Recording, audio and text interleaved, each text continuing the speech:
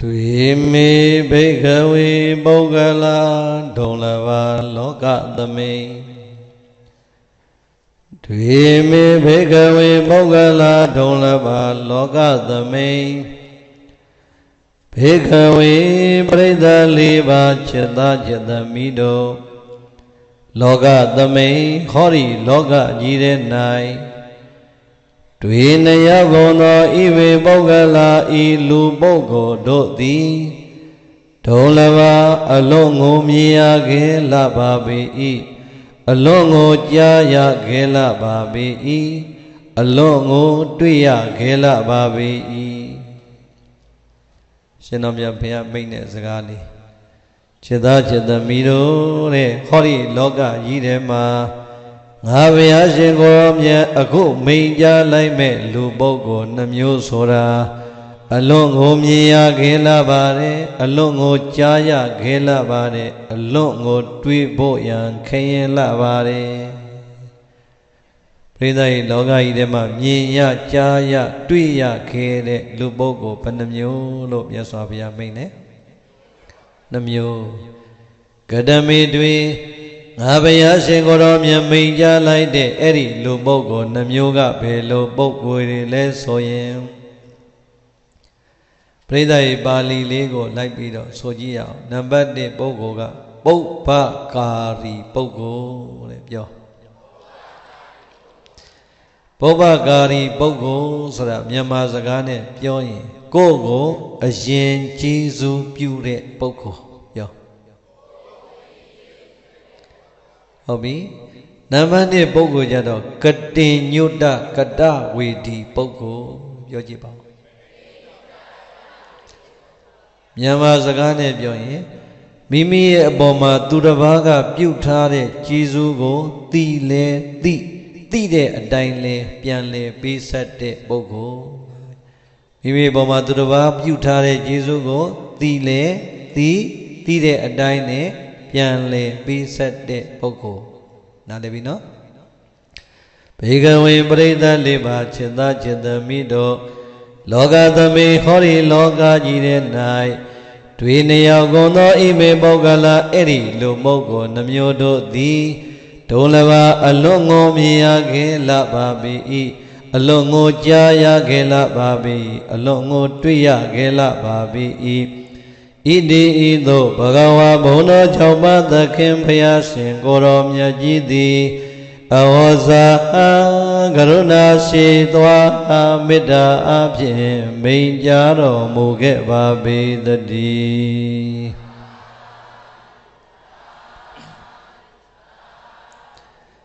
ကဲဒီလောက်ဆိုရင်တို့တရားနာပရိသတ်သဘောပေါက်ပြီ လောကကြီးမှာမြင်ရကြားရတွေ့ရခဲ့တဲ့ပုဂ္ဂိုလ်နှစ်ယောက်တဲ့နံပါတ်1ပုဂ္ဂိုလ်ကမိမိကိုအရင်ဥဆုံးကျေးဇူးပြုခဲ့တဲ့ပုဂ္ဂိုလ်ဘယ်သူလဲအခုအားလုံးတို့ဓမ္မဆွေတော်မျိုးတော်တွေဘဝမှာကိုဖြတ်သန်းခဲ့ရတဲ့နေ့ရက်လတွေမှာပြောခဲ့တဲ့စကားတွေကိုပြန်ပြီးတော့ဆင်ញင်ကြည့် ပညာရေးနယ်ပယ်ကပုဂ္ဂိုလ်တယောက်ကိုဟာမင်းကွာဘွဲတွေများတတိတတိုင်းရထားတာတော်လိုက်တာမင်းအဲ့ဒီဘွဲတွေရအောင်ဘလို့များမင်းစူးစမ်းပြီးတော့ဘလို့များဆောင်ရွက်ခဲ့တာလဲလို့မေးပညာရေးတံမိုးထားတဲ့ပုဂ္ဂိုလ်ကလည်းဘွဲတွေရထားတာဆိုဟာကျွန်တော်ဒီလိုဖြစ်တာအောင်ဗျာကျွန်တော်ဆရာရဲ့ကြီးစုကျွန်တော်ကျောင်းကြီးရဲ့ကြီးစုနဲ့ကျွန်တော်ဗျာအဲ့ဒါလိုဖြစ်လာတာဗျာလို့ ပညာရေးတန်ဖိုးထားတဲ့သူကလည်းပြိဿရေသူရတဲ့ဘွဲ့ဒုဂုံတို့ဒီဂရီများကို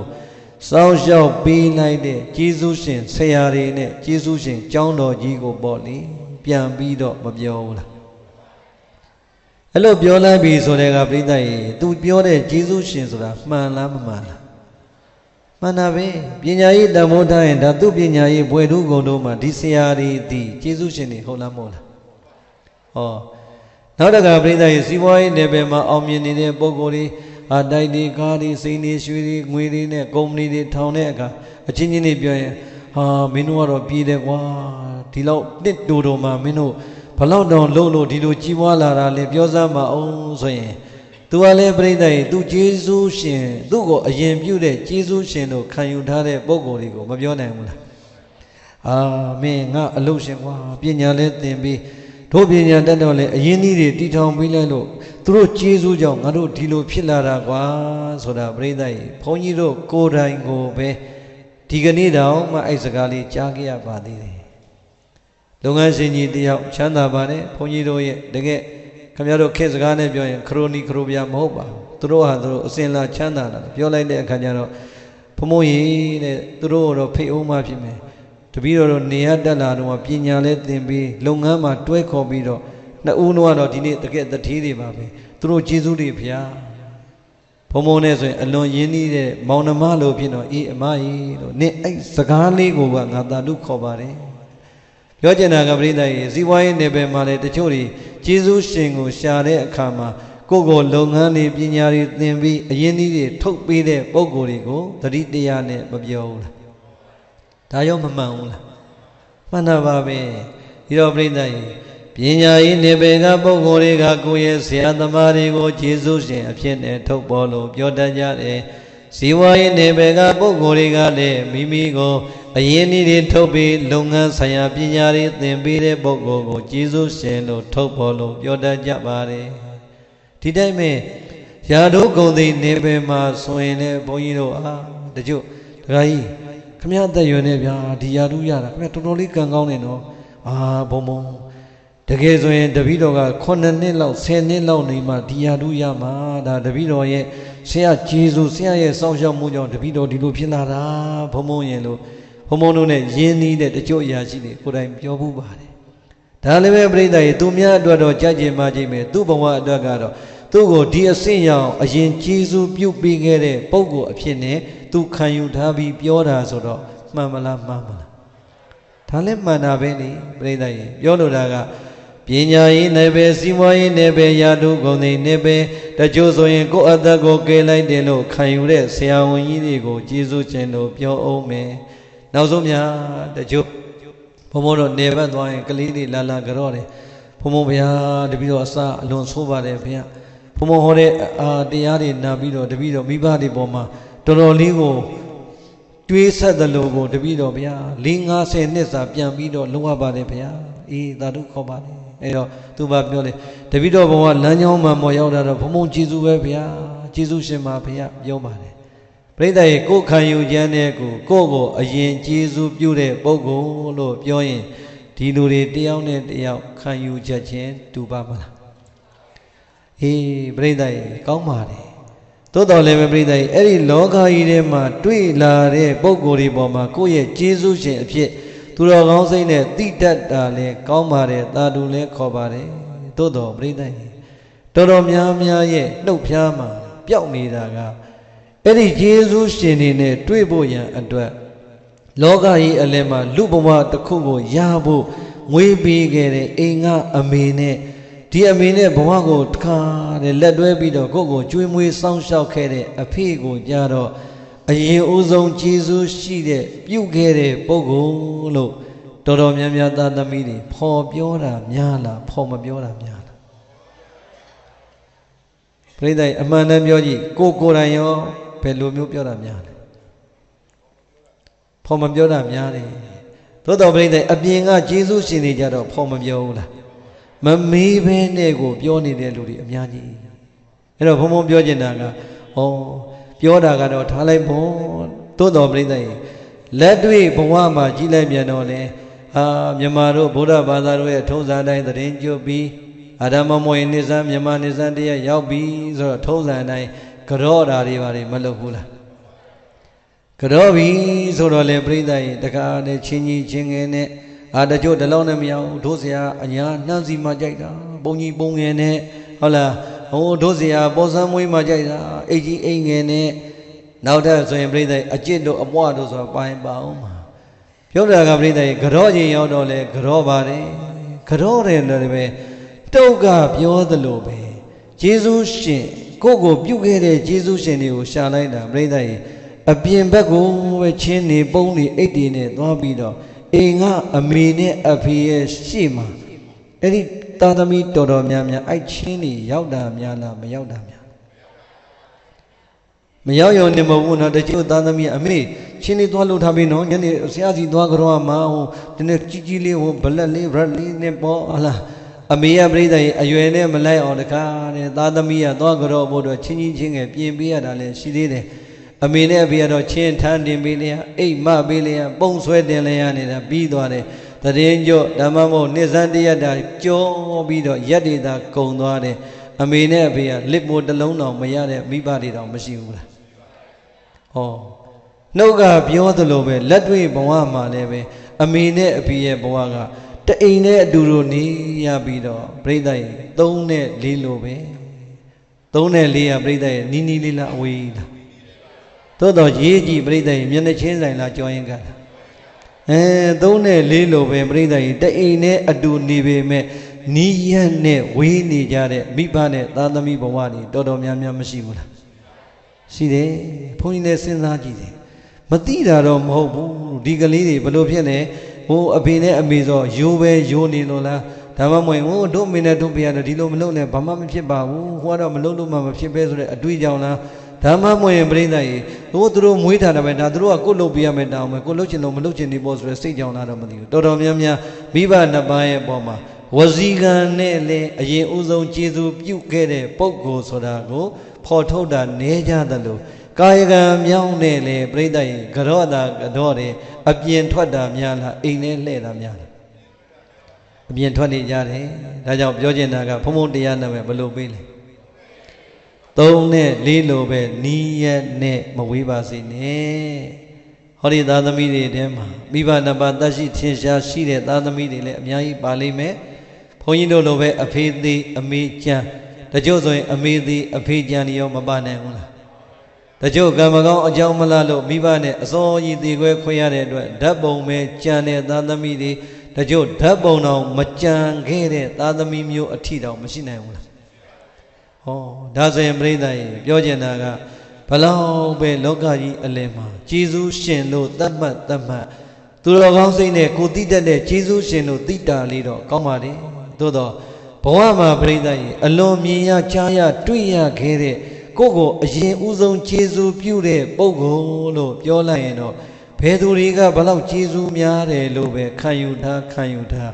အမေနဲ့အဖေဓာတ် ကိုဘဝကိုဘာမျောနှင်းချမ်းမှမထားဘဲနဲ့အရင်ဆုံးကျေးဇူးပြုခဲ့တဲ့ပုဂ္ဂိုလ်တကယ်ရှိသလားရှိသလားအောင်မလေးဒါတော့မှဖြေတယ်မတွက်ချင်သေးဘူးပြိဿကြီးအမေအဖေတဲ့အရင်ဦးဆုံးကျေးဇူးပြုတဲ့ပုဂ္ဂိုလ်လောကမှာရှိရင်ပြောစမ်းပါ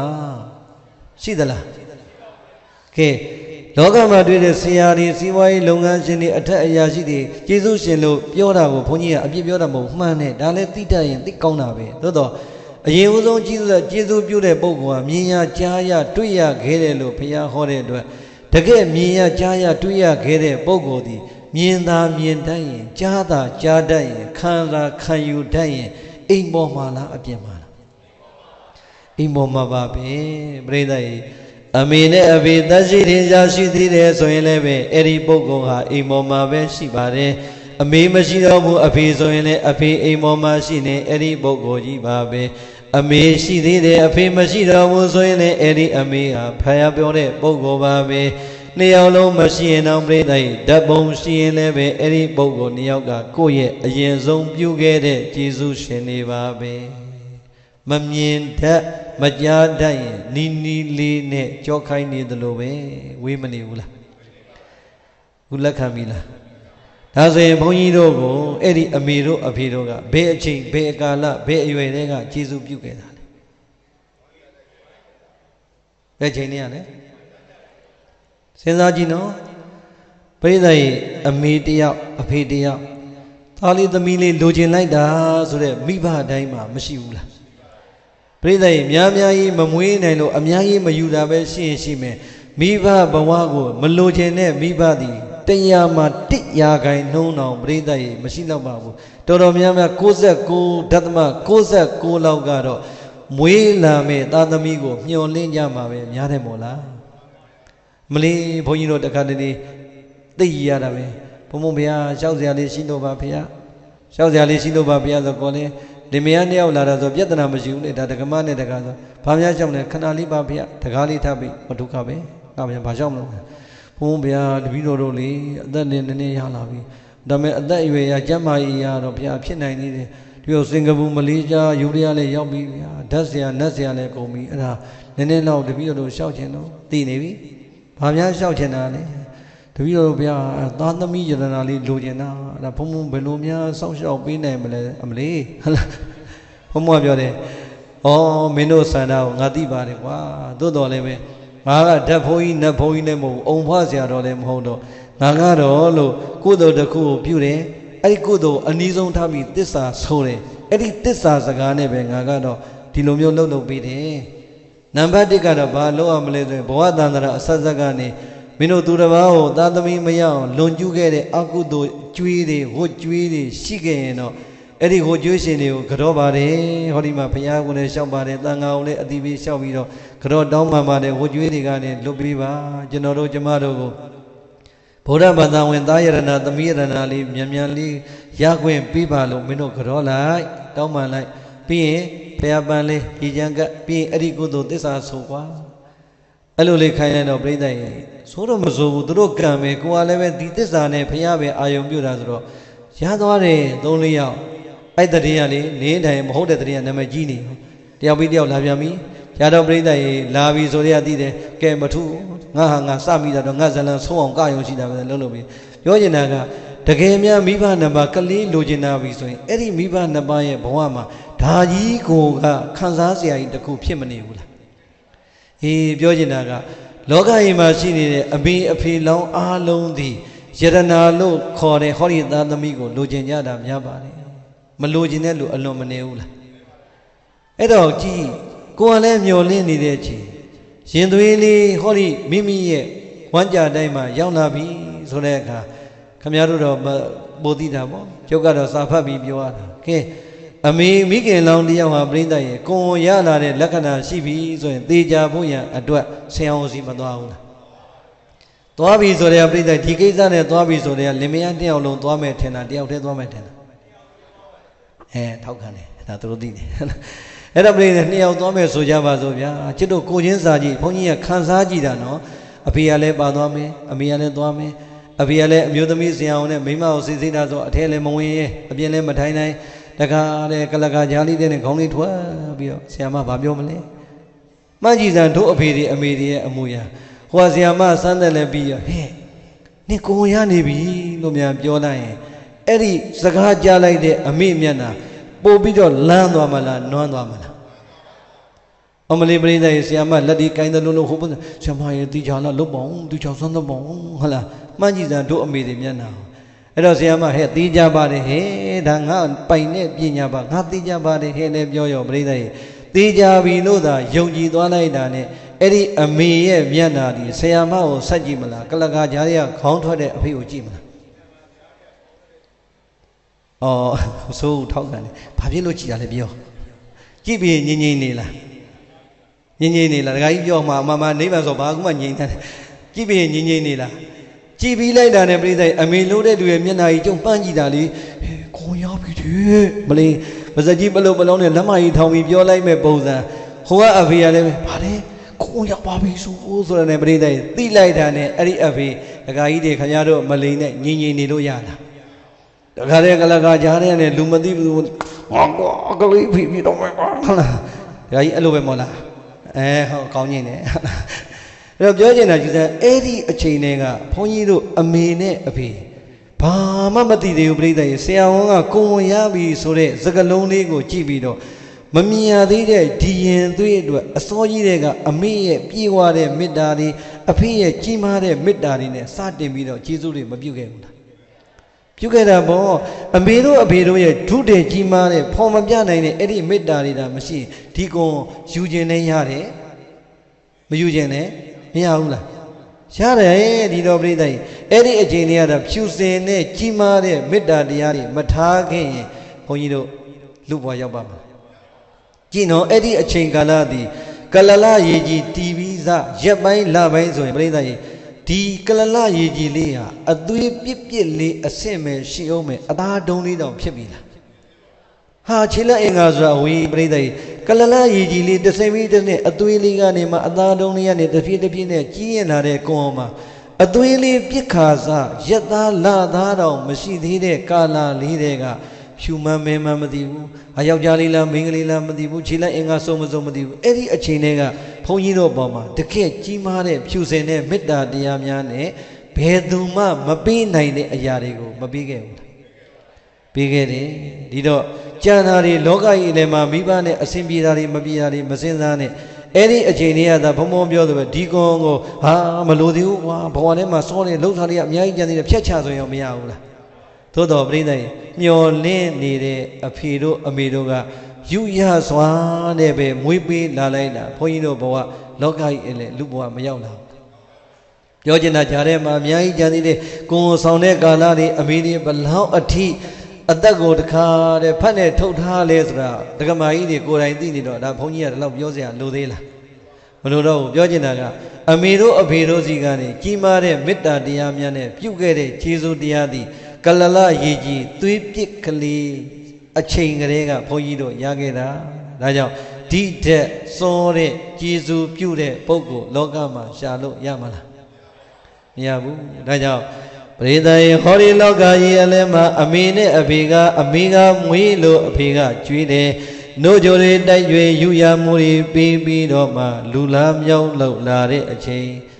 တပြေးတပြေးနဲ့မှကျောင်းဤအရွယ်စမှအပြင်ကလူတွေနဲ့ထိတွေ့ထိတွေ့ပြီးတော့ဆရာဆိုတာပေါ်လာတယ်ဖရာတရားတန်ခါယရနာမြတ်သုံးပါဆိုတာသိလာတယ်ဟုတ်တယ်မဟုတ်လားဖရာတရားတန်ခါယရနာမြတ်သုံးပါနဲ့ဆရာသမားနဲ့ဆိုတာကတကယ်ကြီးကျယ်မြင့်မြတ်တာမှန်တယ်သို့တော့အမေအဖေကအရင်တွေ့တာလားဒီယရနာမြတ်သုံးပါနဲ့ဆရာကအရင်တွေ့တာလားဒါပဲပေါ့ဒီတော့ လောကကြီးအလင်းမှာတဆင်ပြီးတဆင်ပြောင်းလဲလာတဲ့ကိုယ်ဘဝရဲ့ဖြစ်စဉ်ကို အမေဝမ်းကြတိုက်ကလလရေကြီးတီစားကနေစပြီးတော့ဖြတ်တန်းလာတာလေးတွေးရင်ဗျာဘလောက်စွာလို့ဘလောက်တော်တော်ကျတို့တွေတော်တော်များများသားသမီးတွေဘွဲမရမချင်းတော့အမေရဲ့အရေးအဖေရဲ့အရေးအောက်မှာပဲဘဝကိုမကြိုးစားခဲ့ရအောင်လား တချို့ကတော့ပြောတာပေါ့အရှင်ဘုရားရဲ့အဲ့လိုအဖေမေမုန်းတာတွေရှိသေးတယ်နော်တော်ရန်လျှောက်ဟောမနေနဲ့ဘာမှလည်းမသိပဲနဲ့ဟုတ်လားပြောချင်တာကပြိဿရှိနိုင်ပါတယ်သို့တော်ပြိဿကြည့်လောကကြီးမှာ69ရာခိုင်နှုန်းလောက်သောမိဘများသည်အဲ့ဒီလိုသာသမီပေါ်မှာကြီးမားတဲ့မေတ္တာတွေနဲ့ရှိခဲ့လားမရှိခဲ့လားဝမ်းပါစင်လောက်ရှိတဲ့မိဘနှစ်ပါးတွေပါပါတယ်သို့တော်ပြိဿရေ69ရာခိုင်နှုန်းကဒီလိုမဟုတ်ဘူးဆိုရင်အဲ့1%ဖြစ်တဲ့ နည်းနည်းလေးတော့မိဘကြားထဲမှာကိုမိဘဖြစ်လာပြီဆိုတဲ့ကကိုယ့်ရဲ့တန်တရာတစ်လျှောက်လုံးပြုတ်ခဲ့တဲ့အကုသိုလ်ကံတွေဟာမိဘနဲ့ပတ်သက်လို့ဘလောက်တောင်ကြီးမားခဲ့တယ်ဆိုတာကိုနောင်တနဲ့ခံယူပြီးရင်နောင်ဘဝတန်တရာနိဗ္ဗာန်မရမချင်းဖြစ်ရမယ့်ဘဝတိုင်းမှာဒီလိုမျိုးမဖြစ်ဖို့ဒီဘဝမှာကြိုးစားရင်မရဘူးလားရတယ်ဒါလည်းအဖေအမေပြစ်လာကိုယ့်ရဲ့ကံလားကိုယ်ကံပဲနော် 69ကဒီလိုမဟုတ်ဘူးဒီတရားရာက1ရာခိုင်နှုန်းလေးထဲမှာကိုပါတယ်ဆိုတဲ့ကကိုယ်ကံပဲလို့ခံယူလိုက်ရင်မိဘပေါ်မှာအကောင်းမြင်ဝါဒမပေါ်နိုင်ဘူးလားပေါ်နိုင်တယ်ဒါကြောင့်အလုံးသောဒုဓမ္မဆွေတော်မြို့တော်လေးလောကကြီးမှာမြင်ရခဲ့ကြားရခဲ့တွေ့ရခဲ့တဲ့ပုဂ္ဂိုလ်ဆိုတာကိုယ့်ကိုအရင်ဦးဆုံးကျေးဇူးပြုတဲ့ပုဂ္ဂိုလ်လို့မြတ်စွာဘုရားဟောတော်မူလိုက်တဲ့အတွက်ကြောင့် လောကကြီးအလဲမှာတွေ့ရတဲ့ဆရာသမားတွေလုပ်ငန်းရှင်တွေရာတို့ဂုံသိကြီးတဲ့ပုဂ္ဂိုလ်တွေအသက်သခင်ယေရှုရှင်တွေဆရာတော်ဘုရားတွေလို့ခံယူရလဲပဲသူတော်ကောင်းရဲ့အလုတ်ဟုံလဲဟုတ်ပါတယ်သို့တော့တကယ်စာပြီးတော့တွေ့ခဲ့တာကဘယ်သူနဲ့ဘယ်သူမိဘနှစ်ပါးပါပဲဒီတက်အရင်ဦးဆုံးကြတဲ့ပုဂ္ဂိုလ်ရှိသေးလားဒါကြောင့်ဘုန်းကြီးတို့ကျေးဇူးရှင်တပြေကံဆရာဘုရားကြီးဆိုတာဘုန်းကြီးတို့ရဲ့စာပေနေမှာ စာပေတက်ကြွနာရောအကျင့်သီလာရောအလွန်ထင်ရှားပါတယ်။သောဘုရားကြီးကအဲ့ဒီဒေသနာနဲ့အညီဂါထာလေးတစ်ပုဒ်ဆက်ထားတာရှိတယ်။သာရဟောနှလုံးပြောပြောင်းသူတော်ကောင်းတို့မာတာစာမြေမောတောင်ဥမကကျူးသည်မွေသမီးခင်ကျေးဇူးရှင်ကို၎င်းဗိဒါစာမြေမောတောင်ဥမကကျူးသည်ကျွေးတဖခင်ကျေးဇူးရှင်ကို၎င်း ယရနာယရနာနိသဖယာတရားသံဃာယရနာမြတ်သုံးပါးတို့ကို၎င်းကရုဇာတလုံးတဘာဒဆုံးမပဲ့ပြင်းသွန်သင်ပြီးတတ်ကျေးဇူးရှင်ဆရာမြတ်တို့ကို၎င်းနဗမေစီတပါမိမိရဲ့အပေါ်မှာကျေးဇူးဂုဏ်တွေအလွန်များတဲ့အတွက်ကြောင့်ဘေသောခါမှမမေ့သင့်မမေ့အပ်ပါပေသူတော်ကောင်းတို့တဲ့ ပထမဦးဆုံးတွေ့ခဲ့တဲ့မိဘနှစ်ပါးဆိုတဲ့ကျေးဇူးရှင်မိဘနှစ်ပါးမွေးလို့လူလာမြောက်လာတဲ့အချိန်တွေ့ရတဲ့ဆရာသမားနဲ့တကွဖရာတရားတန်ခါယရနာမြတ်သုံးပါကျေးဇူးကုန်တွေဘလောက်တောင်များလဲဆိုရင်ကွာအနန္တောအနန္တဘယ်လိုမှရေတွက်လို့မရအောင်များတဲ့အတွက်ကြောင့်အနန္တောအနန္တ၅ပါးလို့ခေါ်တဲ့ ဟောဒီဘုရားတရားတန်ကယရနာမြတ်၃ပါးနဲ့မိဘနှစ်ပါးဆရာသမားဆိုတဲ့ပုဂ္ဂိုလ်ကြီး၅မျိုးကိုတော့မင်းတို့ဘယ်သောအခါမှမမေ့သင့်မမေ့အပ်ပါဘူးဘယ်အခြေအနေပဲရောက်နေနေဘယ်အစင်တမ်းပဲဖြစ်နေနေဘယ်နိုင်ငံမှာပဲနေနေဘလောက်ဝေးဝေးမှာပဲရောက်နေနေပြိဿရဲ့မေ့အပ်သလားမမေ့အပ်ဘူးဆိုတဲ့အတိုင်းမမေ့လိုက်တာနဲ့ဒုတိယနာပြိဿ ဟောကိုယ့်အတွက်ကောင်းကျိုးတွေလာမလားဆိုးကျိုးလာမလားမမေ့ုံနဲ့ရောပြီးမလားဒေသထိုယရဏမြတ်သုံးပါးမိဘဆရာသမားတို့ဤဂုံကျေးဇူးကိုပိသောပကာရာယမိမိဘောမှာတင်ရှိနေတဲ့ကျေးဇူးဂုံတွေကို အတုတ်တဖန်ပြန်လဲပေးဆက်ဖို့ရန်ဒုံမေသင်သူတော်ကောင်းအပေါင်းတို့သည် ပူဇဏံပစ္စည်းနဲ့ပူဇော်ခြင်းဓမ္မနဲ့ပူဇော်ခြင်းလို့ခေါ်တဲ့ပူဇော်ခြင်းကိုတတနေတိုင်းညတိုင်းအချိန်တိုင်းမှာကာတပံကာတပမိဝကောင်းစွာမသွေပြုအပ်ပါပေတော့တည်း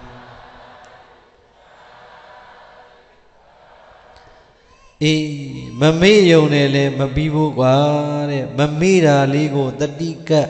ရှိနေတဲ့ကျေးဇူးအကျွေးတွေကိုပြန်လဲကြည်အောင်အဲ့ဒီယန္နာမြတ်သုံးပါးမိဘဆရာသမားလို့ခေါ်တဲ့အနန္တောအနန္တ၅ပါးကိုလေမင်းတို့အချိန်တိုင်းနဲ့ပစ္စည်းနဲ့လည်းပေးဆက်ပါဓမ္မနဲ့လည်းပေးဆက်ပါဟောပစ္စည်းနဲ့လည်းဓမ္မနဲ့လည်းဒါဆိုရင်ပြိဿကြီးခွဲလိုက်ပစ္စည်းက50%ဓမ္မက50%ဆိုတော့ဘယ်လောက်ဖြစ်သွား 100%ပြည့်ဖို့ဆိုရင်ဘာနဲ့ဘာနဲ့ပြည့်စက်မယ်ပစ္စည်းနဲ့ရောဓမ္မနဲ့ရောအဲ့ဒါဆိုရင်ကြည့်လိုက်မြတ်စွာဘုရားဒုတိယမြင်ရခဲ့တဲ့ပုဂ္ဂိုလ်ဟောလိုက်တော့ခြေသားချက်သမီးတို့ဟောဒီလောကကြီးထဲမှာမိမိဘောမှာသူတစ်ပါးကပြုတဲ့ခြေစိုးကိုတီလဲတီတယ်တီတဲ့အတိုင်းလဲပြန်လဲပေးဆက်တဲ့ပုဂ္ဂိုလ်ဆိုတာလဲပဲလောကကြီးမှာအလွတ်ငုံမြင်ရခဲ့ကြားရခဲ့တွေ့ရခဲ့တဲ့ပုဂ္ဂိုလ်ပါပဲလို့ နံပါတ်1ပုဂ္ဂိုလ်ကိုမဟောခဲ့ဘူးလားဒါဆိုရင်ပြိဿကြီးအဲ့ဒီနံပါတ်1ပုဂ္ဂိုလ်ဒီဘလောက်ပဲမြင်ရကြားရတွေ့ရခဲ့တယ်လို့ပြောပြောကိုကိုယ်တိုင်ပြိဿကြီးနံပါတ်1ပုဂ္ဂိုလ်ဖြစ်တဲ့မိဘနှစ်ပါးရဲ့ဂုံကျေးဇူးကိုသိလဲသိ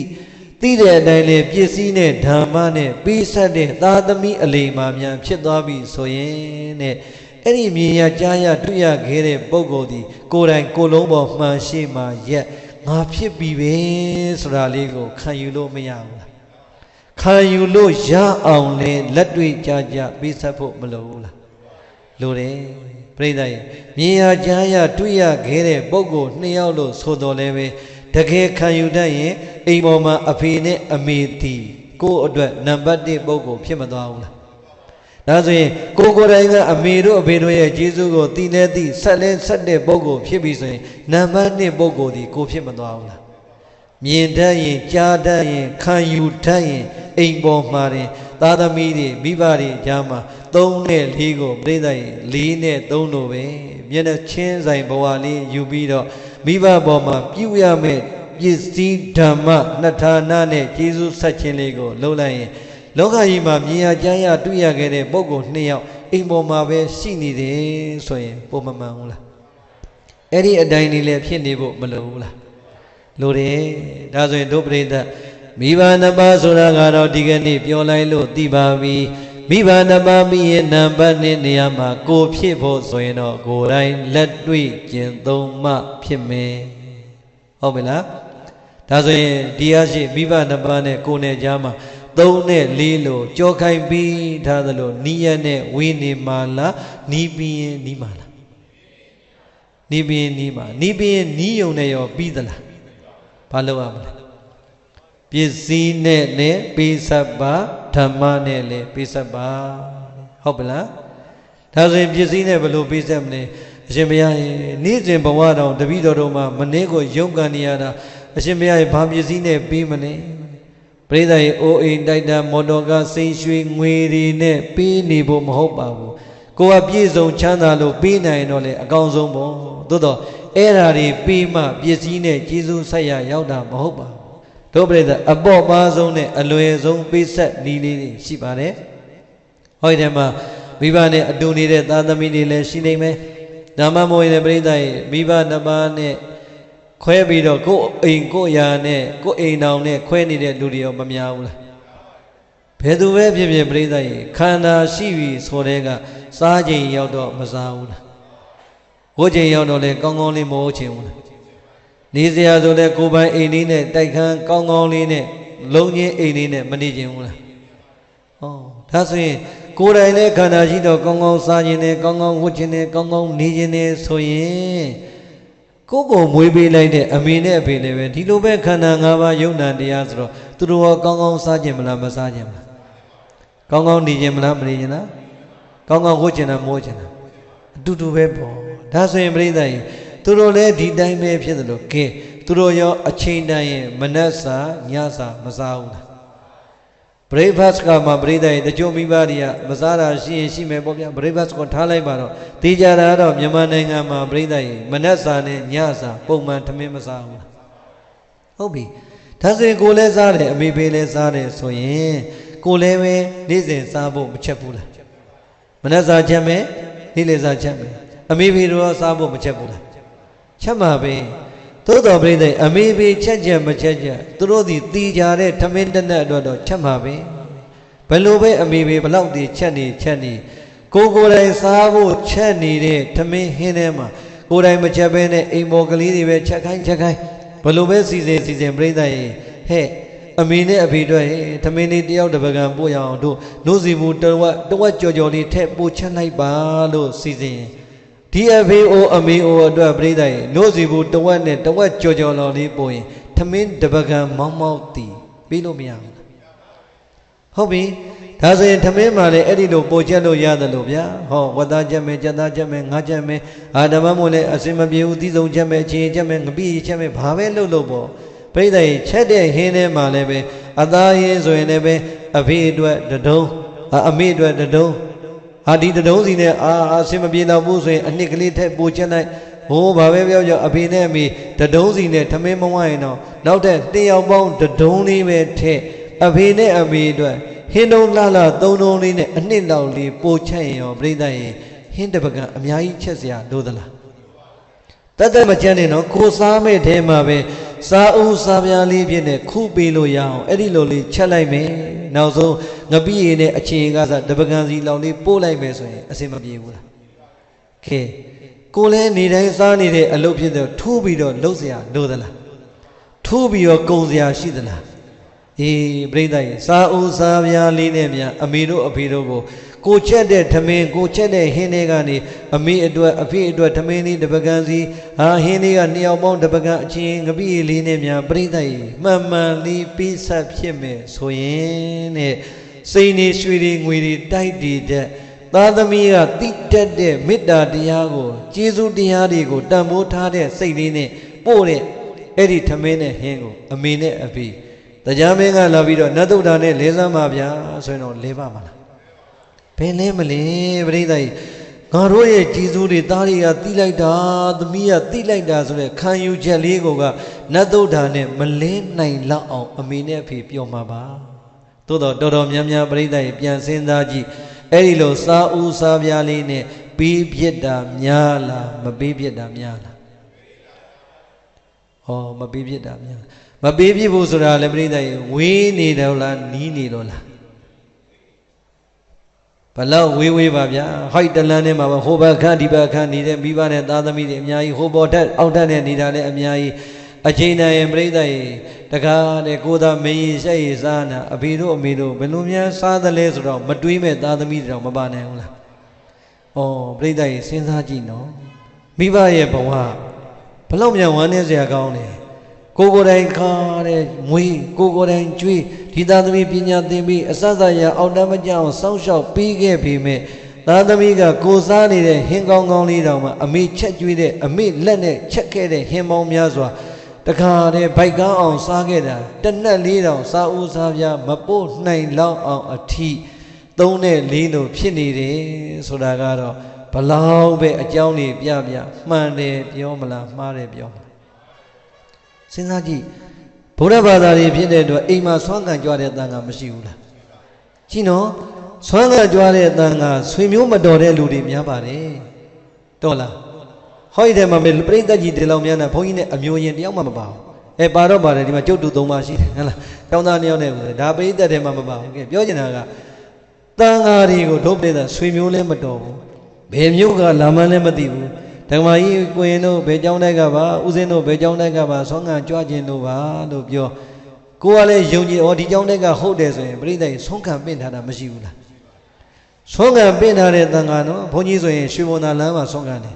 တခါတည်းမိုးရွာတဲ့နေ့ဆိုရင်ဟာအဲ့အဖွားတယောက်ကလေးထက်မှာဘုံဘုံလေဘာမှမပြောတော့ရှင်မရဘယ်မှကြွမနေတော့ဒီမှာပဲဖုံးပေးလိုက် ဒါကြတဲ့သူ့အိမ်မှာဖုံးတပိတ်တည်းပါတယ်ဟိုသူများအိမ်ရရတဲ့ဟင်းလေးတစ်ကွက်နှစ်ကွက်လေးထက်အကုန်လုံးသူ့အိမ်မှာရှိတဲ့ဟင်းလေးနဲ့အကုန်လုံးကတ်လိုက်တာပြောချင်တာကဆွေမျိုးလိုဖြစ်သွားရင်ဆွမ်းခံကြွတဲ့တန်ဃာကိုယ်တော်မှရက်ရက်ရောရောနဲ့ထမင်းဟင်းအပြည့်လောင်းနိုင်သေးတာပဲပြိဿရေကိုယ့်အပေါ်မှာမွေးကျေးဇူးကနေကြွေးကျေးဇူးပေါင်းများစွာကြီးတဲ့ဒီအမေနဲ့ဒီအဖေကိုတန်ဃာတစ်ပါးလို့တန်ဃာနှစ်ပါးလို့ပဲခံယူထားရင်တော့ ကျန်တဲ့အဖေနဲ့အမေနဲ့အပြောအစင်မပြေတာဒီအနေအစင်မပြေဘာမှတွေးမနေနဲ့တန်ဃာကိုယ်တော်အဲ့ဒါလို့ထားရင်မြတ်စွာဘုရားဟောတဲ့မိဘဂုံထဲမှာ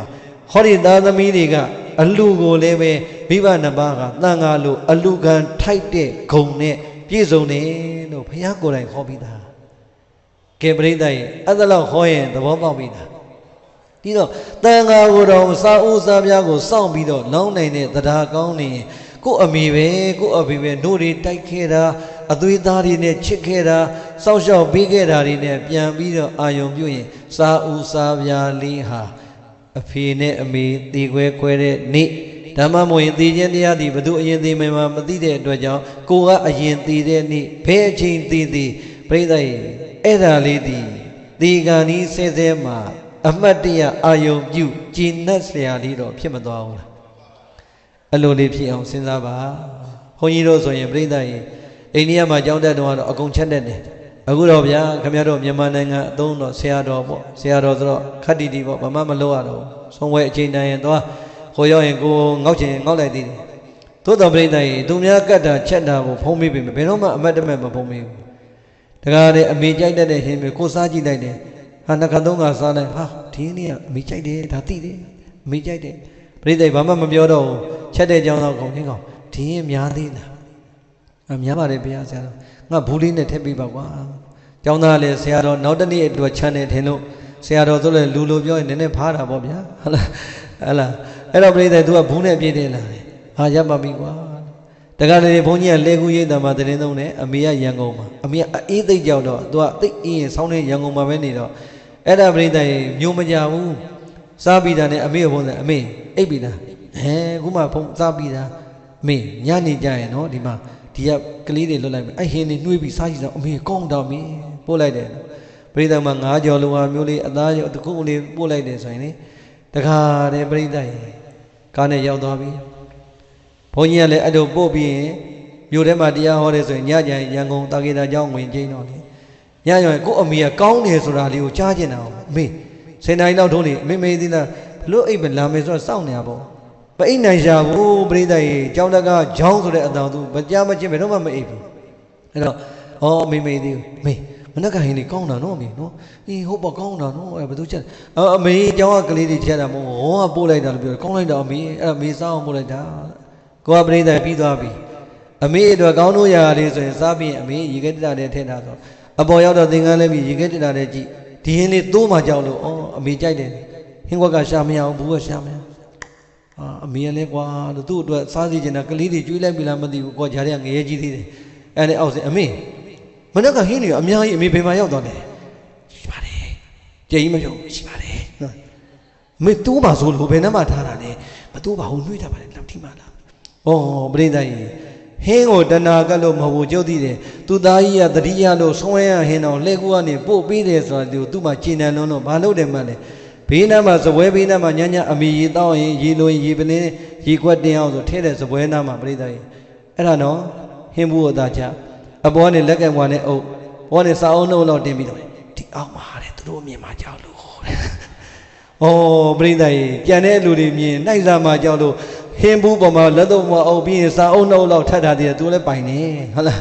အဲ့တော့ပြောချင်တာဩဘာပဲပြောပြောအဘေးဟာ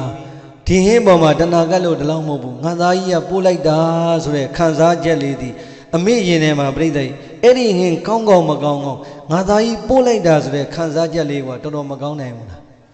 တကယ်ပါပဲဒါဘုံဘုံကအမေနဲ့နေတော့သိပါတယ်ဒါကြောင့်အားလုံးကိုယ့်ရဲ့အမေတွေအဖေတွေနဲ့နေရတဲ့ဘဝသည်ဘယ်လောက်ကြာမှလဲတတ်တန်းအရာသူအရင်သိမယ်ဆိုရင်လည်းအများဆုံးနေရ10နှစ်15နှစ်ပေါ့သိခြင်းတရားအရာဆိုရင်လည်းဘသူအရင်သိမှမသိတဲ့အချိန်မှာ ပြိဿရေတည်ခွဲခွဲရတဲ့အချိန်မှာနောင်တမျက်ရည်မကြံမဲနဲ့။အိုးငါအမိလက်တဲ့အဲ့ဒါလေးထည့်ပေးလိုက်ရတယ်။အမိပါဇက်တဲ့ငါအဲ့ဒါလေးခွန်ကျွေးလိုက်ရတယ်ဆိုတဲ့အတွေးလေးဒီပြိဿရေဝမ်းနေတဲ့အချိန်မှာပဲဝမ်းသာစရာစိတ်ကူးလေးမပေါ်နိုင်ဘူးလား။အဲ့လိုလေးဖြစ်အောင်လို့ဟောတာပါပြိဿရေသုံးနဲ့လေးတွေကတော်တော်မများဘူးလား။ဟုတ်ပြီဒါဆိုရင်ပြိဿရေစာအုပ်စာပြားလေးနဲ့လည်းအဲ့လိုပေးဆက်လို့ရတယ်လို့ ဟိုဥကိုဖျားလေးနဲ့ပေးဆိုင်ရောမရဘူးလားမမှန်ပြောကြည့်တို့ရန်ကုန်သူတွေကအလှကြိုက်ပါတယ်စီးပွားရေးလေးအဆင်ပြေမယ်ကိုလက်ကလေးတက်မယ် promotion တွေလည်းရအောင်မယ်ဟို outside အထက်ဆိုင်လေးလည်းရအောင်မယ်ပါလား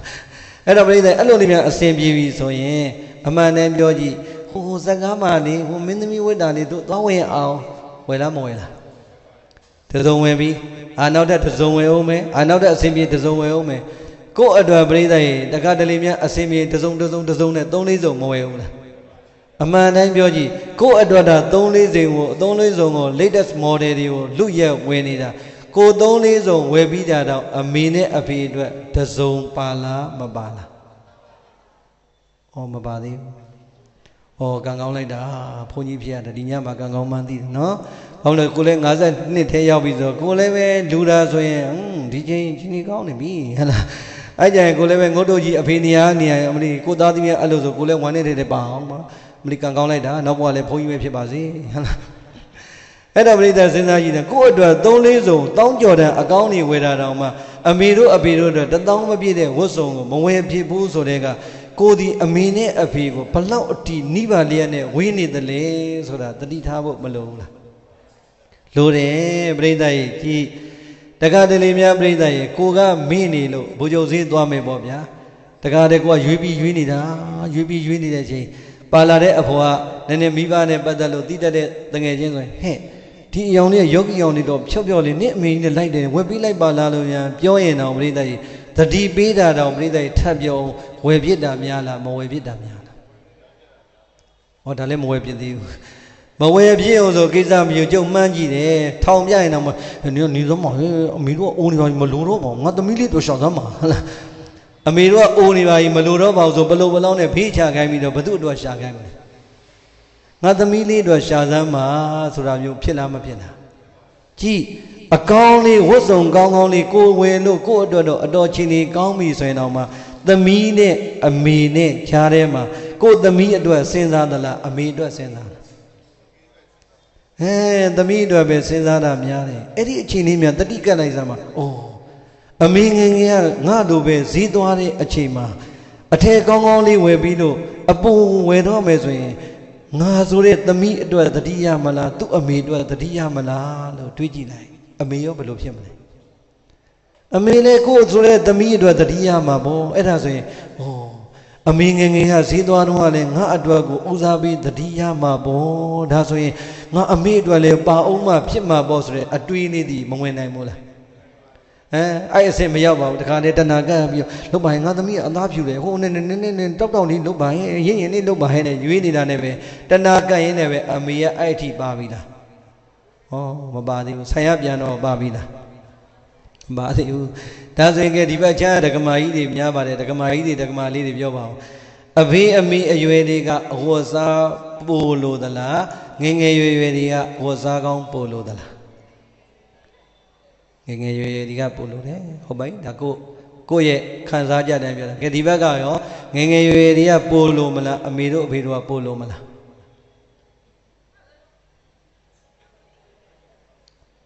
တိုင်တပ်လိုက်ဖေမပြောတော့ဘူးသူတို့ဖြေမှာသူတို့လည်းသိတယ်လေဖြေရဖြေရင်ကောင်းမလားမဖြေရင်ကောင်းမလားအဲ့ဘုန်းကြီးကနောက်တနေ့ရညငါတို့ထဲဟွင်ဒုက္ခတွေးပြီးဘုန်းကြီးမောကြည့်ပြီးတော့ပြုံးမယ်ပြနာသဘောပေါက်ပါတယ်ပြုံးနေတတိထားဟဲ့လား33လမ်းပြုံးရင်တတိထားပြီဟဲ့လားအဲ့တော့ပြိဿရေဘုန်းကြီးတို့လည်းပဲဒီလိုပါပဲဩငယ်ငယ်ရွယ်ဘုန်းကြီးကိုယ်တိုင်ပဲအခုဆိုရင်တပည့်တွေလည်းပြောဟေး ဒီသင်္ကန်းတွေကတိမ့်ထားတာမဟုတ်ဘူးနော်စာကြဘုန်းကြီးတွေပြောတယ်မင်းတို့လိုတာကိုဝက်လိုတာကိုကြိုက်တာဝက်ကြိုက်တာဝက်ငါတော့အိုပြီကွာမင်းတို့ထုတ်ပေးတာပဲဘုန်းကြီးဆိုရင်ဘာသင်္ကန်းဆိုတော့မသိတော့ဒီဦးစင်းကနေပြီးတော့ဆရာတော်ဒါလေးဝက်ပါဗျာသူပေးတာပဲဝက်တယ်ဒါပေမဲ့သူလည်းပဲဆရာတော်ဆိုဖားတာဟောတူတော်သေးတာဟုတ်လားအဲ့တော့ပြောချင်တာပြိဿရေ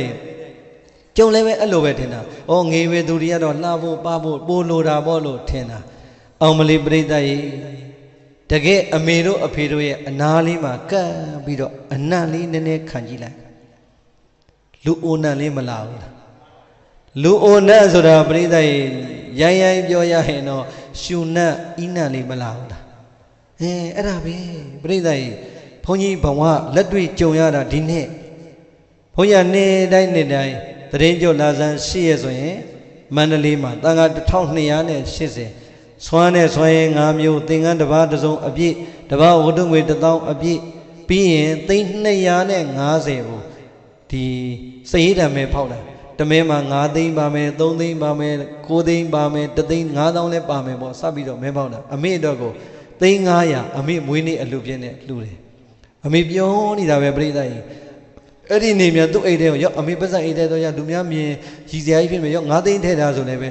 ဆွမ်းတော့ပြီးမရှိတော့ ဟာအမေကုံသွားမလားဟိုကွင်လေးတွေတနာတာနဲ့ထပ်လူလိုက်တယ်သူပြောနေတာတော့ခါတိုင်းမန္တလေးသွားမယ်ဆိုရင်ပြောနေတာ9နှစ်ရှိပြီအခုဒီနှစ်ကြတော့လေအမေအာမွေတာနော်တရင်ကျုပ်တခါနေပြီသွားမယ်သွားမယ်ပြောရင်လေဟိုမသွားတော့ပါဘူးဒီနေ့တော့ရန်ကုန်မှာပဲလုပ်မယ်အမေဘာဖြစ်နေရလဲမန္တလေးရဆရာတော်တွေတန်ဃာတွေဒီလောက်ရှားလို့သွားတာကိုဟုတ်ပါဘူးနောက်နေ့ကျရင်သွားမယ်လေဒီနေ့တော့ရန်ကုန်မှာပဲလုပ်ပေးရတော့ငရဲကြီးသွားသေးတယ်ပြိတ္တိဘာလဲအမေ ရန်ကုန်ကဒကာဒကမတွေပေးတဲ့မွေးနေ့လက်ဆောင်တွေလိုချင်တော့လားမဟုတ်ပါဘူးရှောက်ပြောမနေပါနဲ့ဒီမှာပဲလုပ်ပါဩပြိတ္တိ82နှစ်သာရောက်နေတယ်မြန်မာဗုဒ္ဓဘာသာတို့ရဲ့ဟိရိဩတ္တပါတရားအာကြီးတော့မပြောဘူးနောက်ကြမှာပြိတ္တိဘုံဘုံကအမေကိုအမေနားမှာအမအကြီးဆုံးကိုခေါ်ထားတာအမနဲ့ဒီမှာပဲလာနေဆိုဘူးအမနဲ့အမေနဲ့အတူထားတာအမကမေးတယ်အမဆရာတော်တဲ့အဲ့လိုရှားကြောင်မပြောနဲ့အမေကဆရာတော်အဲ့လိုပြောရင်စိတ်မကောင်းတအားဖြစ်တာဟာဘာဖြစ်လို့တော့လို့ ဟိုးတဲ့ပြောပြမယ်တဲ့အမေကအရင်တော့မဟုတ်ဘူးတဲ့အခုအပေါ်သွားခြင်းနဲ့ဆိုရင်တဲ့ဟဲ့အပေါ်သွားခြင်းနဲ့လို့ပြောလိုက်တာနဲ့ဂရင်မော်ဆင်းပြီးနှစ်လန်းသုံးလန်းလောက်ဆိုရှူထွက်ကြတာတဲ့ဟောဟုတ်လားလို့ဘယ်လောက်ကြာမလဲအာအဲ့ဒါအမြင်နာမယ်နဲ့ဆရာတော်မသိလို့တဲ့ရိတ်သားထဲမှာလမ်းလျှောက်နေဆိုရင်လည်းအဆောင်တွေကိုဖွင့်ထားတာတဲ့အမေရှောက်မဲ့နေရာတွေကိုအဲ့ဒါအမေရှုံပေါက်ရင်လည်းအဲ့ဒီကိုအမြန်ပြေးရတာဒါလည်းပဲတစ်ခါလေးညရင်ကြောင်းသားရောက်ရင်ထွက်ကြရင်ကြာနေတာ ဘုံမသဘောပေါက်ပြီဩဒါဆိုရင်တော့အမေကျမ်းမာရေးတစ်ခုတော့ချွတ်ရင်းနေပြီပေါ့အမေကိုအမြဲတမ်းကုနေတဲ့ဆရာမကြီးကိုဖုံးဆက်ပြီးလှမ်းမိတယ်ဆရာမကြီးအဲ့လိုလိုပဲအဲ့ဒါဘလို့ဖြစ်နိုင်လဲဆိုတော့ဆရာမကြီးပြောပြလိုက်တာတကယ်နဲ့သဘာဝကြတကယ်နဲ့မှန်ပါတယ်ဆရာတော်ဘုရားတဲ့မှတ်မိလားတဲ့ပြီးခဲ့တဲ့နှစ်ဒီဇင်ဘာတုန်းကဆရာတော်မရှိတဲ့ချိန်အမေကြီးလေဖြတ်တယ်လို့ဖြစ်သွားတာလေတဲ့အဲ့လိုငါတဲ့အာယုံညောတွေကအားနေသွားတော့ အမေကြီးကခွေခွေလေးဖြစ်သွားပြီးကားပေါ်တော့ပွေ့တင်ပြီးဆေးုံတင်ရတာအင်းဟုတ်တယ်လေလို့အဲ့ဒါဆရာတော်ကုနိုင်လို့တပည့်တော်တို့လည်းကုသချက်မှန်လို့ပြန်ကောင်းသွားတာလေတဲ့သို့တော့အမေကြီးကအဲ့ဒီအာယုံညောတွေအားနေသွားတော့ဘလို့ဖြစ်လဲဆိုရင် အမေကြီးရဲ့ခန္ဓာကိုယ်တွေကမူလကြွက်သားတွေဟာတခါတည်းအားတွေကြပြီးတော့ပျော့သွားပြီအသက်အရွယ်ကြီးလို့မူလကြွက်သားတွေကပျော့တာလဲပါတယ်အဲ့ဒီအပေါ်မှာအမေကြီးကအာယုံကျော်နဲ့ဆိုင်တာဆိုတော့ အရှင်မြတ်ကြီးတဲ့ကျင်ကြီးကျင်ငယ်ကိုထိန်းနိုင်တဲ့အထက်ကမာဆယ်တွေကကြသွားတာဖြစ်တဲ့အတွက်ဒါကျင်ငယ်ကိုမထိန်းနိုင်တာပါဗျာတဲ့နောက်ထပ်အယောဂအသိမဟုတ်ပါဘူးတဲ့တချို့ဆိုရင်ကျင်ကြီးကိုမထိန်းနိုင်တဲ့အထိဖြစ်သွားတာအဲ့မှာဘုံဘုံအမှန်သိသွားတယ်တကယ်လဲသဘာဝလည်းကြသလိုတကယ်လဲဟုတ်တဲ့အခါကျတော့ဩဒါဆိုရင်ငါအမေကြွသားတွေပျော့သွားပြီသဘောပေါက်တဲ့အခါကျတော့ဟောဘုံဘုံအမေလိုပဲ 85နှစ်ကြော်လာပြီပုံမှန်ဘာယောဂမှမရှိတော့ပြိဿရေခန္ဓာကိုယ်ရဲ့ကြွက်သားတွေကြမလာဘူးလားအဖေအိုမေအိုတွေကြလာပြီယောဂပါပေါင်းလိုက်ပြီဆိုသိကြပြီပေါ့အဲ့တော့မှဘုံဘုံသဘောပေါက်တယ်ဟုတ်ပြီအမေဒါဆိုရင်ရန်ကုန်မှာပဲလုပ်ပြီးမယ်မပင့်တန်ကားတွေပြင်ပြီးအမေလှူပေးမယ်ဘာညာနဲ့စိတ်ချမ်းသာအောင်ပြောပြီးတော့သဘောပေါက်သွားတယ်အေးအမကြီးဒါဆိုရင်ဘလောက်လောက်ဒီအမေများလဲ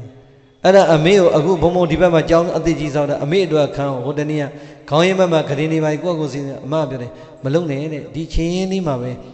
ဂရင်မွာဆင်းလိုက်တာနဲ့တန့်စင်ကန်းလေးကိုနှစ်လမ်းလောက်ဆိုရောက်သွားတဲ့နေရာမှာပဲဂရင်ထားမယ်ဆိုထားလိုက်တော့ဤဒါလည်းဟုတ်တာပဲတခါတလေအစင်မပြေပြိဿဒီနှစ်လမ်းသုံးလမ်းကြားမှာတော့ထွက်ကြတယ်ဆိုတော့ကဲအဲ့ဒါလို့သာထွက်ထွက်နေထမိန်ကအကျဉ်းကြီးမများဘူးလားများတာပေါ့ဘု န်းကြီးကအဲ့ဒါမှာဘယ်မှာသွားကိုချင်းစာလိုက်လဲဆိုဘုန်းကြီးတို့ငယ်ငယ်ဘုန်းကြီးက9နှစ်6နှစ်သားတွေကမူလာတန်းကျောင်းနေပြီးဘုန်းကျောင်းသွားတာအဲ့တော့9နှစ်သားလေးမှာရွာထဲမှာဆုံးခံလဲရတော့အကြီးမေသားဆိုတာရှိတယ်အကြီးမေသားဆောင်းရင်းဆိုရင်တခါတဲ့အိမ်ရှိမှာကျွတ်တော့ကျောင်းသားတွေကိုင်းနေအလားအောင်စောင့်အောင်ဟိုအိမ်ရဲ့ကပန်းလေးမှာသူဟင်းပကံလေးနဲ့ထမင်းပကံလေးတင်းပြီးစောင့်အဲ့တော့ဆုံးခံလာပြီးတော့အေးလာပြီးတော့လောင်းလောင်းပြီးတော့ပရိသတ်ကြီးသူထားလိုက်တဲ့အချိန်မှာအကြီးမေသားရှူထွက်ကြတာ तू မသိဘူးတ ကားတဲ့ထမိန်မှာသေးကွက်နဲ့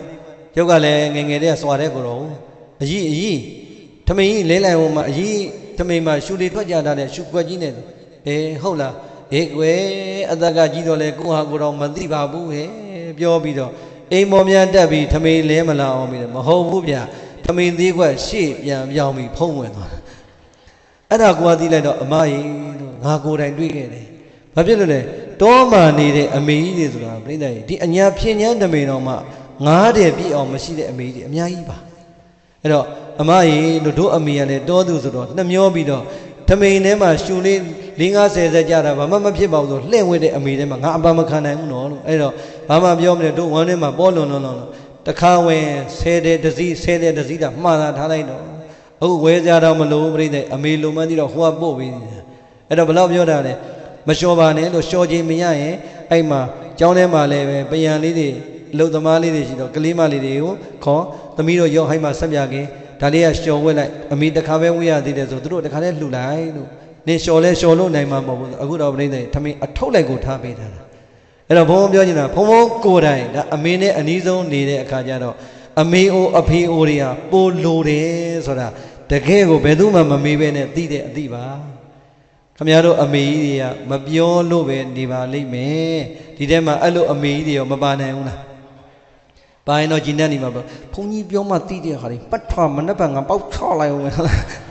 ဟုတ်လားအဲ့တော့ထမိန်လေးပါရအောင်လဲအမေကြီးကနေပါကြည့်ကြလောက်ကြအောင်ဟုတ်လားအဲ့တော့အဲ့လိုပဲဒါကြောင့်အဲ့ဒီလိုများအမေတို့အဖေတို့ကိုအမတ်တမဲ့မထားဘဲနဲ့သူဟာလဲလုံနေတဲ့အချိန်ကိုဟာလဲလှူနိုင်တာလေးကိုဟိုကိုအတွက် 3 4တောင်းတန်အကောင်းတွေဝယ်တဲ့အချိန်မှာအမေတို့အတွက်အမလီဝမ်းတွင်းထမိန်အကောင်းစားဆိုရင်9000ပဲတန်ပါတယ်အောင်မလီ9တဲ့တောင်ဝယ်လို့မရဘူးလားအဲ့လိုမျိုးလေးလဲကိုဥကိုဖျားလေးနဲ့လဲလှူဖို့မလိုဘူးလားအမှန်တမ်းပြောကြည့်အခုအချိန်ထိတတိယတာများလားမရတာများလား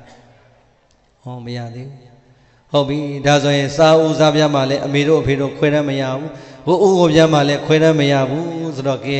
ခမရတို့အမှန်တမ်းပြောပါအောင်အခုတရားပွဲကအောက်မှာဖြာခင်းထားတာလားမှုရခင်းထားတာ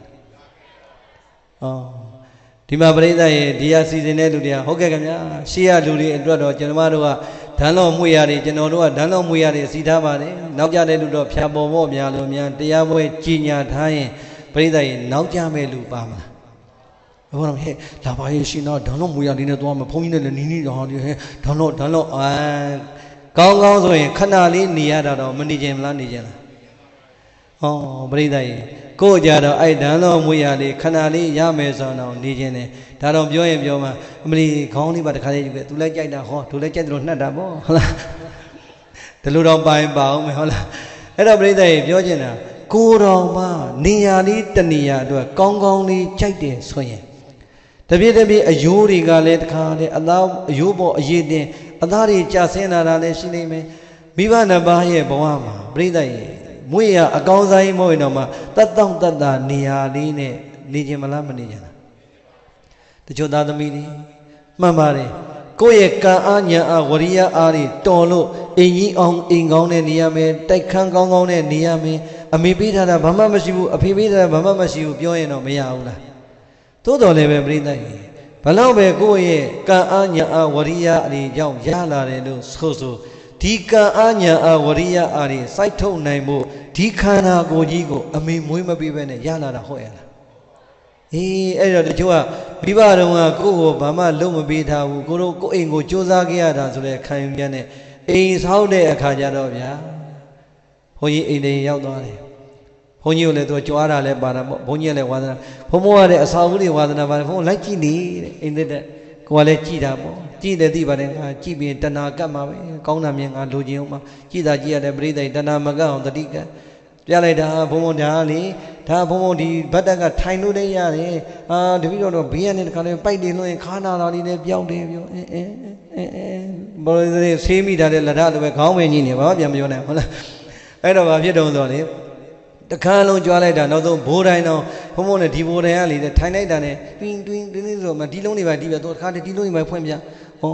ချမ်းသာလိုက်တာလို့ကြော့ပါဣပါဒာတော့မှတီးတုံးတယ်လို့လားရိုင်းနေမအောင်မင်းနဲ့တော့ဘုံဘမြင်မဲ့နားလေအောင်ပြောပြအဲ့တော့လေကောင်းလိုက်တာပေါ့အဲ့ဒါနဲ့တခမ်းပြီးတခမ်းဒါသားဖျက်ဒါသမီးဖျက်ပြောလဲပြောဒီပေါင်းတော့အဖေကြီးတို့အမေကြီးတို့အခန်းဘယ်မှာလဲဩဘုံဘဒီမှာဒီမှာကြော့ကြော့ကြော့ဆိုသွားလဲရတာအင်းကြီးလည်းကြီးပြိတ္တဟိုကထောင်းကိုရောက် ထောင်းရောက်တော့ပြိတ္တအခန်းထဲလည်းကြီးဟိုအဖေကြီးတို့အမေကြီးတို့အခန်းဟိုဟာရေကျိုးကအိမ်သားဘယ်မှာလဲ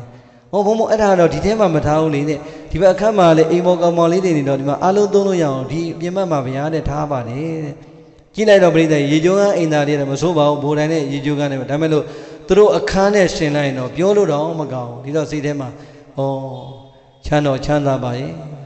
ချမ်းသာတာတော့ငါမိဘကကောင်းကောင်းမသုံးတတ်တဲ့အတွက် ထောင်နဲ့ချောင်နဲ့မှာပဲထားမယ်ဒါငါတို့မှသုံးတတ်တာဆိုတဲ့အတွေးကြီးနဲ့လားမသိဘူးပြိဿကြီးကိုကြတော့ special မိဘကြတော့အိမ်မော်သုံးတဲ့နေရာမှာတွဲထားတဲ့သာသမီတွေကိုယ်တိုင်ကြုံခဲ့တာပါ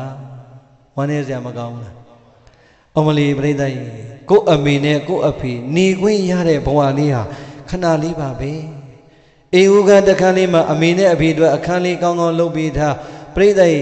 တစ်ချိန်ရင်သေသွားရင်တော့ဒီအခန်းလေးကိုပိတ်ထားပြီးတော့အဖေတို့အမေတို့နေသွားတဲ့အခန်းလေးသုံးဆောင်သွားတဲ့အသုံးဆောင်လေးအဖြစ်နဲ့အမြဲတမ်းကြော့နေတော့မရဘူးလား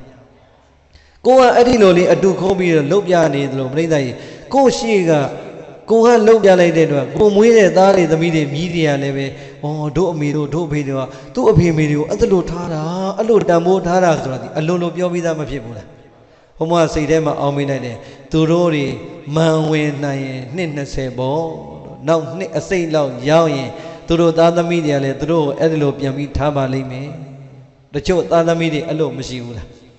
ရှိတယ်ပြိဿကြီးမလိန်နဲ့သားသမီးတွေထဲမှာအဲ့ဒီလိုရှိတဲ့သားသမီးတွေလည်းပါတယ်လို့အဲ့ဒီလိုမဟုတ်ဘဲနဲ့မိဘကိုအင်းဥကမ်းမှာတင်ထားတဲ့သားသမီးတွေရောမရှိဘူးလားရှိပါတယ်သို့တော်ပြိဿကြီးရာဂိုင်တို့နဲ့တွေ့ရင်ဟပ်ပိုင်ဟတ်တော်မနေ့ကိုယူရမယ် ဟုတ်တယ်မလားဒီတော့ဘုံဘုံပြောချင်တာကဘဝမှာခဏလေးနေရတဲ့အချိန်လေးမှာအမလီဒီအမေကိုအဖေကိုတို့အတွက်တတ်တောင့်တတ်တာချမ်းချမ်းသာသာနေခွင့်ရအောင်အိမ်ဦးခမ်းမှာနေဦးနေပြားနေပေးလိုက်မယ်ဆိုရင်တစ်ချိန်ချင်းကိုယ်ဒီလည်းပဲသာသမီကြီးလိုက်ဒီအကျိုးခံစားခွင့်ရသလိုပဲကိုယ်လည်းပဲပြိဿရဲ့မိဘနဲ့ပတ်သက်လာရင်နောက်တစ်ချိန်နောင်တဆိုတာမကင်းဘူးလားကင်းသွားတာပေါ့ ပြီးတော့နေဦးနေပြားလေးနဲ့လည်းပေးဆက်ဖို့မလိုဘူးလားအခုပြောတဲ့စာဦးစာပြဟိုဦးဟိုပြနေဦးနေပြားဆိုတာတိတလုံးစရာတခုပါသလားဘာမှမပါဘူးကိုယ့်ရဲ့နေစဉ်ဘဝထဲမှာနည်းနည်းလေးတံပုံမြင့်လိုက်အကုန်ဖြစ်မသွားဘူးလားဖြစ်သွားတာပေါ့နိုဗင်ဘာလတော့ဘုန်းကြီးမဟာစီစရောဘုရားကြီးရဲ့ဇာတိစိတ်ခွန်ရောင်ရောက်တယ်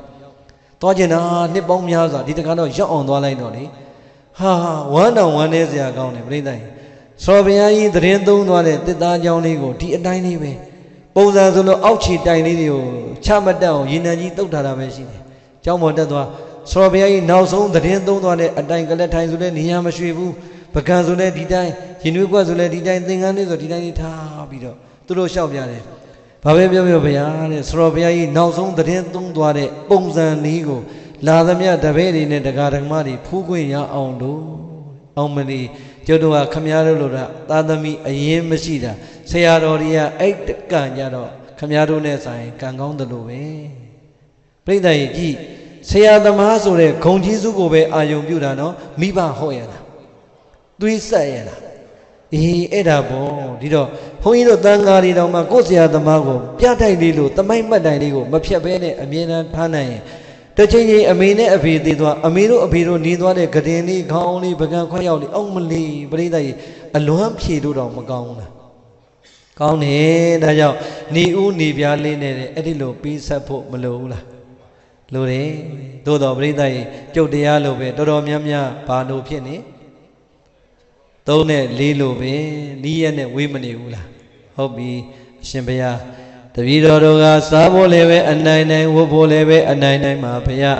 နေစရာဆိုရင်လည်းတပည့်တော်တို့တော့မှအိမ်ပိုင်းနဲ့မနေရသေးတဲ့အတွက်အစဉ်မပြေသေးဘူးဘုရားဝမ်းနေတဲ့အတန်နဲ့ဒီလိုမျိုးအခက်ခဲတွေနဲ့ပြောလာမဲ့သားသမီးတွေရောလောကမှာမရှိနိုင်ဘူးလားဘလောက်ပဲအစင်မပြေပြေပါပြိဿရေနောက်ဆုံးဘာမှမကုန်တဲ့ပေးဆက်နီးလေးနဲ့ဆက်မယ်ဆိုရင်ဘုန်းကြီးတို့ အမေအိုအဖေအိုရဲ့ခြေသလုံးကြွတ်သားလက်မောင်းကြွတ်သားသည်ပျော့ပျော့နေပါပဲဘုန်းဆိုရင်အမေကိုအမြဲတမ်းဇကြောတတ်တဲ့ကဆွဆွဲပြီးတယ်တခါတလေကျရင်အမေခြေထောက်တွေနုံးတယ်ဆိုဒီခြေသလုံးများများတော့မနေရဘူးပြိတဲ့ကိုလက်နဲ့ဖြည်းဖြည်းလေးနှိရတယ်နာမဆိုလို့အဲ့တော့ကိုလက်မောင်းအားတွေလက်ဖွားအားတွေတန်နေသေးတာပဲပျော့ပျော့ဒီတစ်ချက်နေတော့အာကနေអော်မယ်အမေတို့အဖေတို့ကိုပြိတဲ့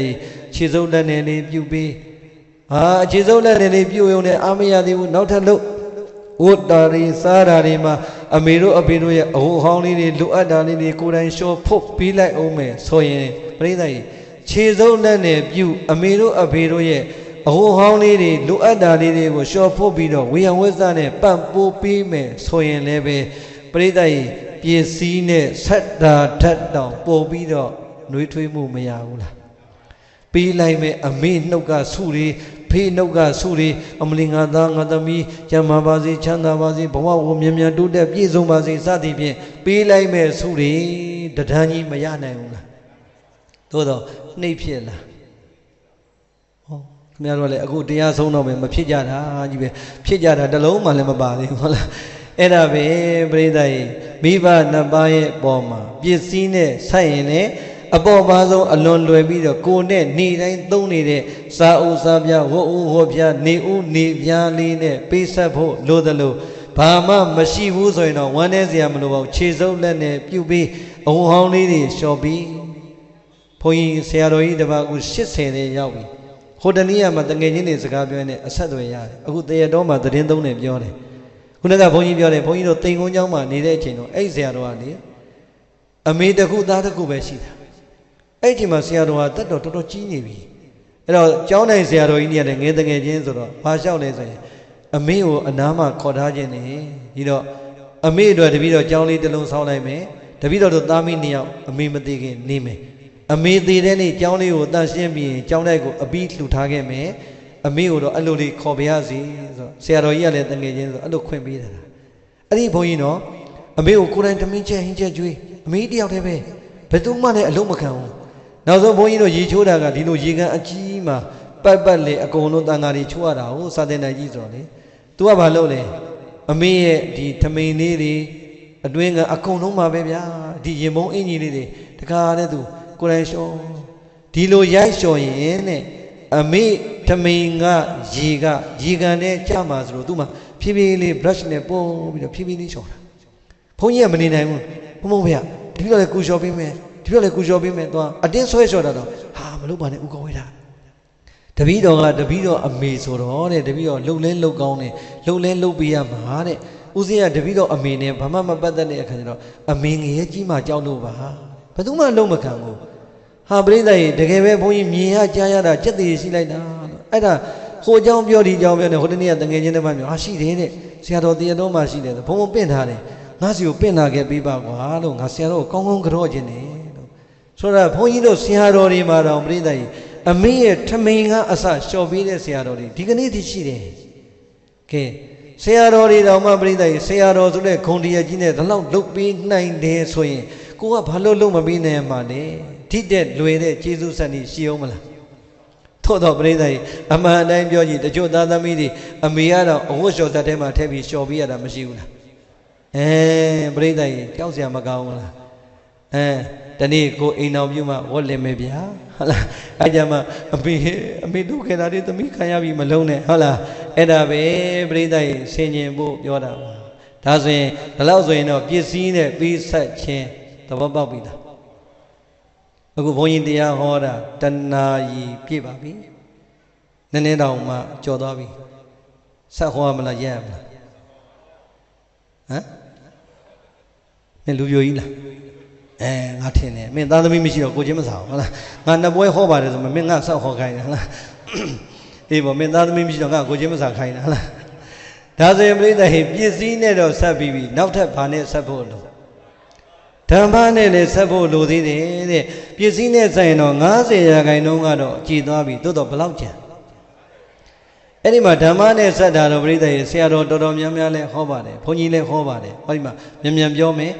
ယန္နာမြတ်သုံးပါးနဲ့ကံကိုင်းအကျိုးကိုယုံကြည်မှုတရားတရားမရှိသေးတဲ့ဓမ္မမို့ရင်ရှိပြီးအားနည်းနေတဲ့ဆိုရင်လည်းပဲအမေနဲ့အဖေကိုတရားတရားတွေရှိအောင်အားကောင်းအောင်စီမံဆောင်ရွက်ပေးရင်တော့အဲ့ဒါတရားတရားမရှိတဲ့မိဘနှစ်ပါးကိုတရားတရားတွေရှိအောင်ခိုင်အောင်ဆောင်ရွက်တဲ့အတွက်အမေနို့ဘိုးနဲ့အဖေချွေးဘိုးကိုအကြည်ဆက်တဲ့ဤတွေကနံပါတ်1ကြည်သွားပါပြီ ပြန်ပြောတရားတရားမရှိတဲ့မိဘကိုမလုပ်ရမလဲတရားတရားရှိအောင်ခိုင်အောင်နံပါတ်2ကကိုချင်းသီလမပြည့်စုံမဖြူတဲ့မိဘတွေရောမရှိဘူးလားဘုန်းကြီးကဏ္ဍကဏ္ဍပြောပါတယ်ကလေးတွေကလူငယ်တွေကတက်ကြွပြီးတော့ဘာသာရေးမှာလုံနေပေမဲ့တချို့အဖေကပြိဿရေဟောဒီတရုတ်တန်းမှာကိုတချို့နေရာတွေမှာတွေ့ရသေးတယ်ဘုန်းကြီးတို့အတိုင်းဝိုင်းတွေကပဲငေါ့နေရတာပြိဿရေအဖေကအာစနေတနင်္ဂနွေဆိုရင်ဘောလုံးပွဲလောင်းပြီးတော့ဘီယာလေးနဲ့မြုပ်ပြီးစောင့်နေတာဟုတ်လား အဲ့တော့ပြိဿရေ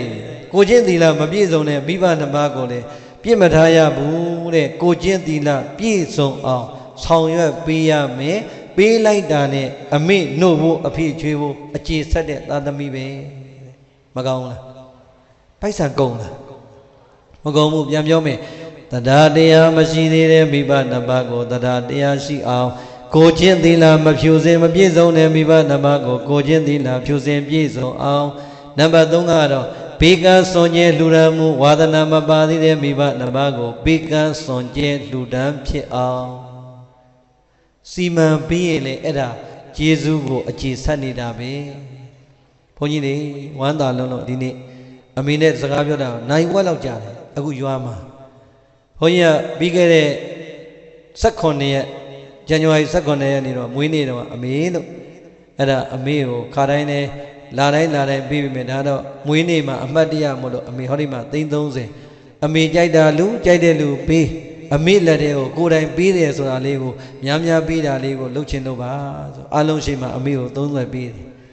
ကံလည်းကောင်းကျင်တော့ပြာသူလပြည့်နေ့အမေနေ့ရောက်တဲ့အခါကျတော့ဩဒီနေ့လဲလောကသတ်မှတ်တာအမေနေ့ပဲငါတော့ယင်ထဲမှာအမြဲတမ်းအမေနေ့ပါပဲသို့တော့လောကလူတွေလည်းအတုခိုးလို့ရအောင်ဆိုပြိဿရော့အမေဒီနေ့ကတော့အမေနေ့အတွက်ဆယ်သိန်းဆိုတော့ပေါင်းလိုက်တော့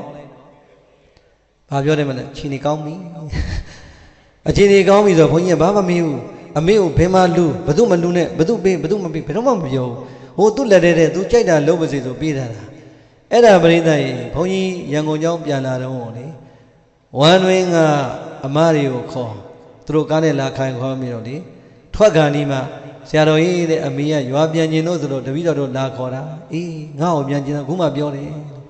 ဘာများလုပ်မယ်လဲအောင်မယ်အခုရွာမှာဘုန်းကြီးတို့အဖေကိုရည်စူးလှူထားတဲ့စာသင်ကျောင်းရှိတယ်တရားရှိတယ်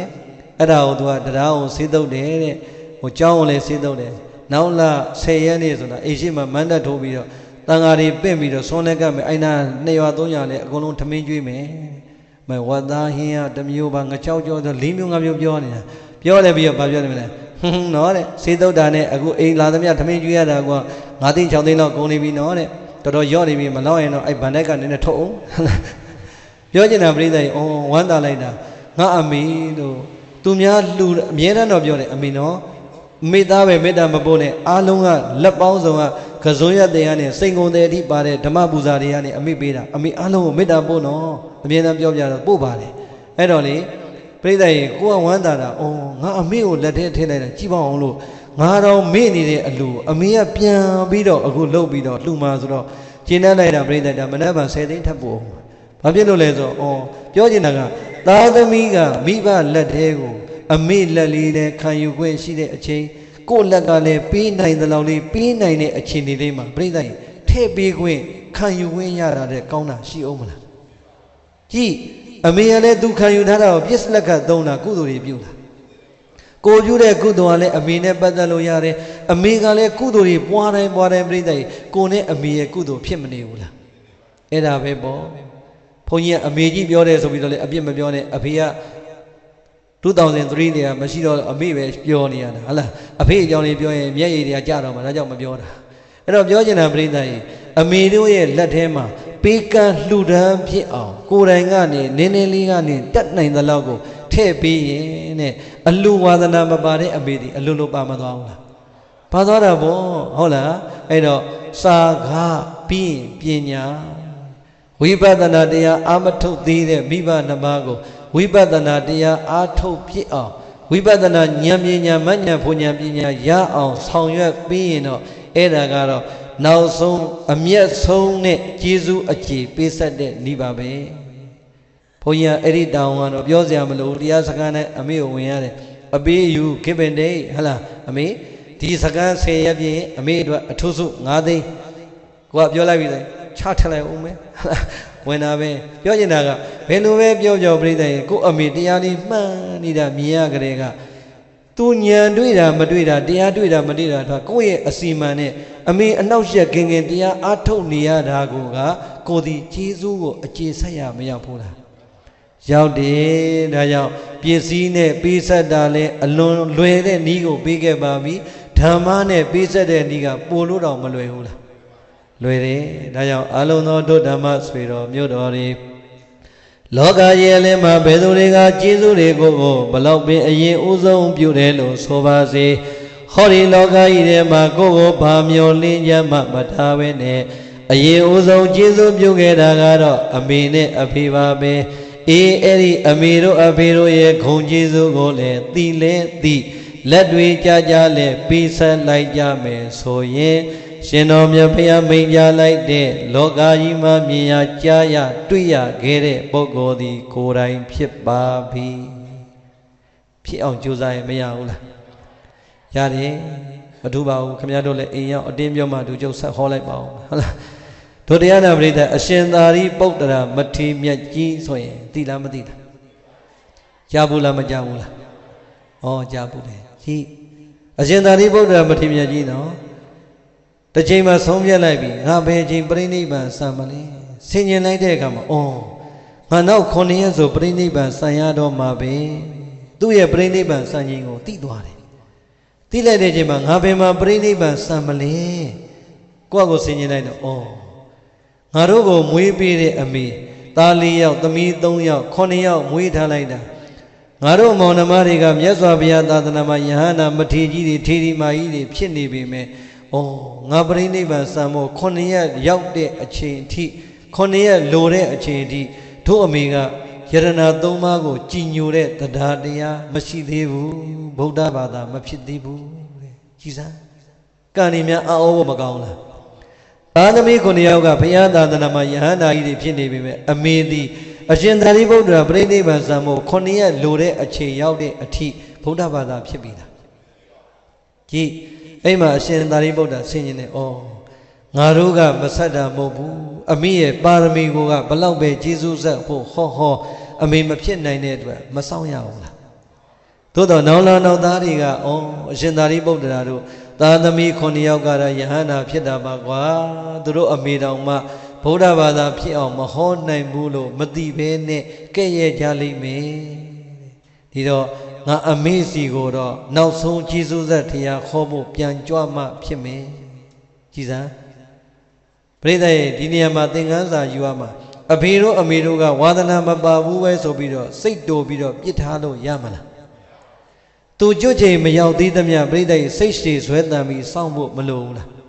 ကျုပ်တို့မပြောနဲ့လေအရှင်သာရိပုတ္တရာတော်မစောင့်ခင်ရဘူးလားအဲ့တော့မြန်မြန်ပြောကြဆိုခြားထဲမှာဘုရားနဲ့တွေ့တာဒီပါလေးထားလိုက်တော့အရှင်သာရိပုတ္တရာကြီးအဲ့ဒီမှာဩအမေကိုကျေးဇူးဆက်ဖို့ငါအမေအိမ်မဲ့ပြန်ပြီးပြိဋိဘံစာမဘင်လို့ဆုံးဖြတ်ချက်ကြမြတ်စွာဘုရားကိုရှောက်အာဇီတော်မှာတရားတွေဟောသာဝတိကယဟန်နေမျိုးတွေအတင်းငိုပြီးတားပေမဲ့အကုန်လုံးကိုကျင့်တတ်အောင်ပြော ပြီးတော့ဘလောက်များဝေးလဲ45ယူဇနာဝေးတဲ့သာဝတိကနေဒီကနေ့မွေးခဲ့တဲ့နာလကရွာဆိုတာရာဇကြိုနားမှာရှိပါတယ်ဒီကနေ့ဒီရှိပါတယ်မနက်ခင်း6နာရီထွက်ရင်ညနေ4နာရီလောက်မှရောက်ပါတယ်အဲ့ဒီခရီးဟာအဲ့တော့အဲ့ဒီခရီးကိုလေနောက်ပါယဟန်900ခြံရံပြီးတော့တရက်သွားခြေချင်းကြွကျွတ်တတ်တဲ့ပုံကိုယ်တွေခြေချင်းဟောရောက်တဲ့နေရာမှာချင်းတရက်ဆက်တရက်ဆက်တရက်ဆက်နဲ့ဆက်သွားလိုက်တာ ခုနှစ်ရက်ပြည့်တဲ့နေ့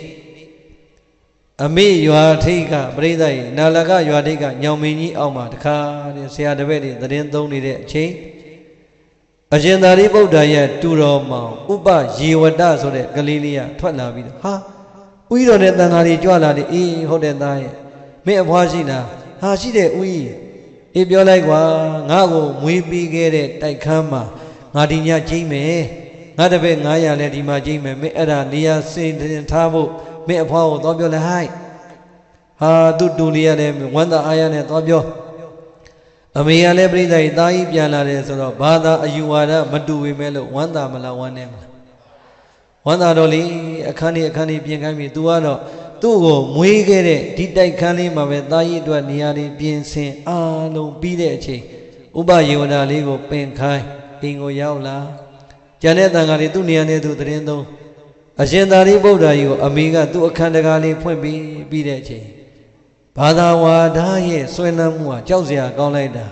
အယူဝါဒမတူတော့သားကိုကြော့တာတို့ဘာတို့မလုပ်ဘူးသို့တော်ပြိဿရဲ့အမိတန်ရောစင်ကတော့ကုံမမလားအရှင်သာရိပုတ္တရာရဲ့အခန်းပေါင်းနဲ့တဲ့တဲ့က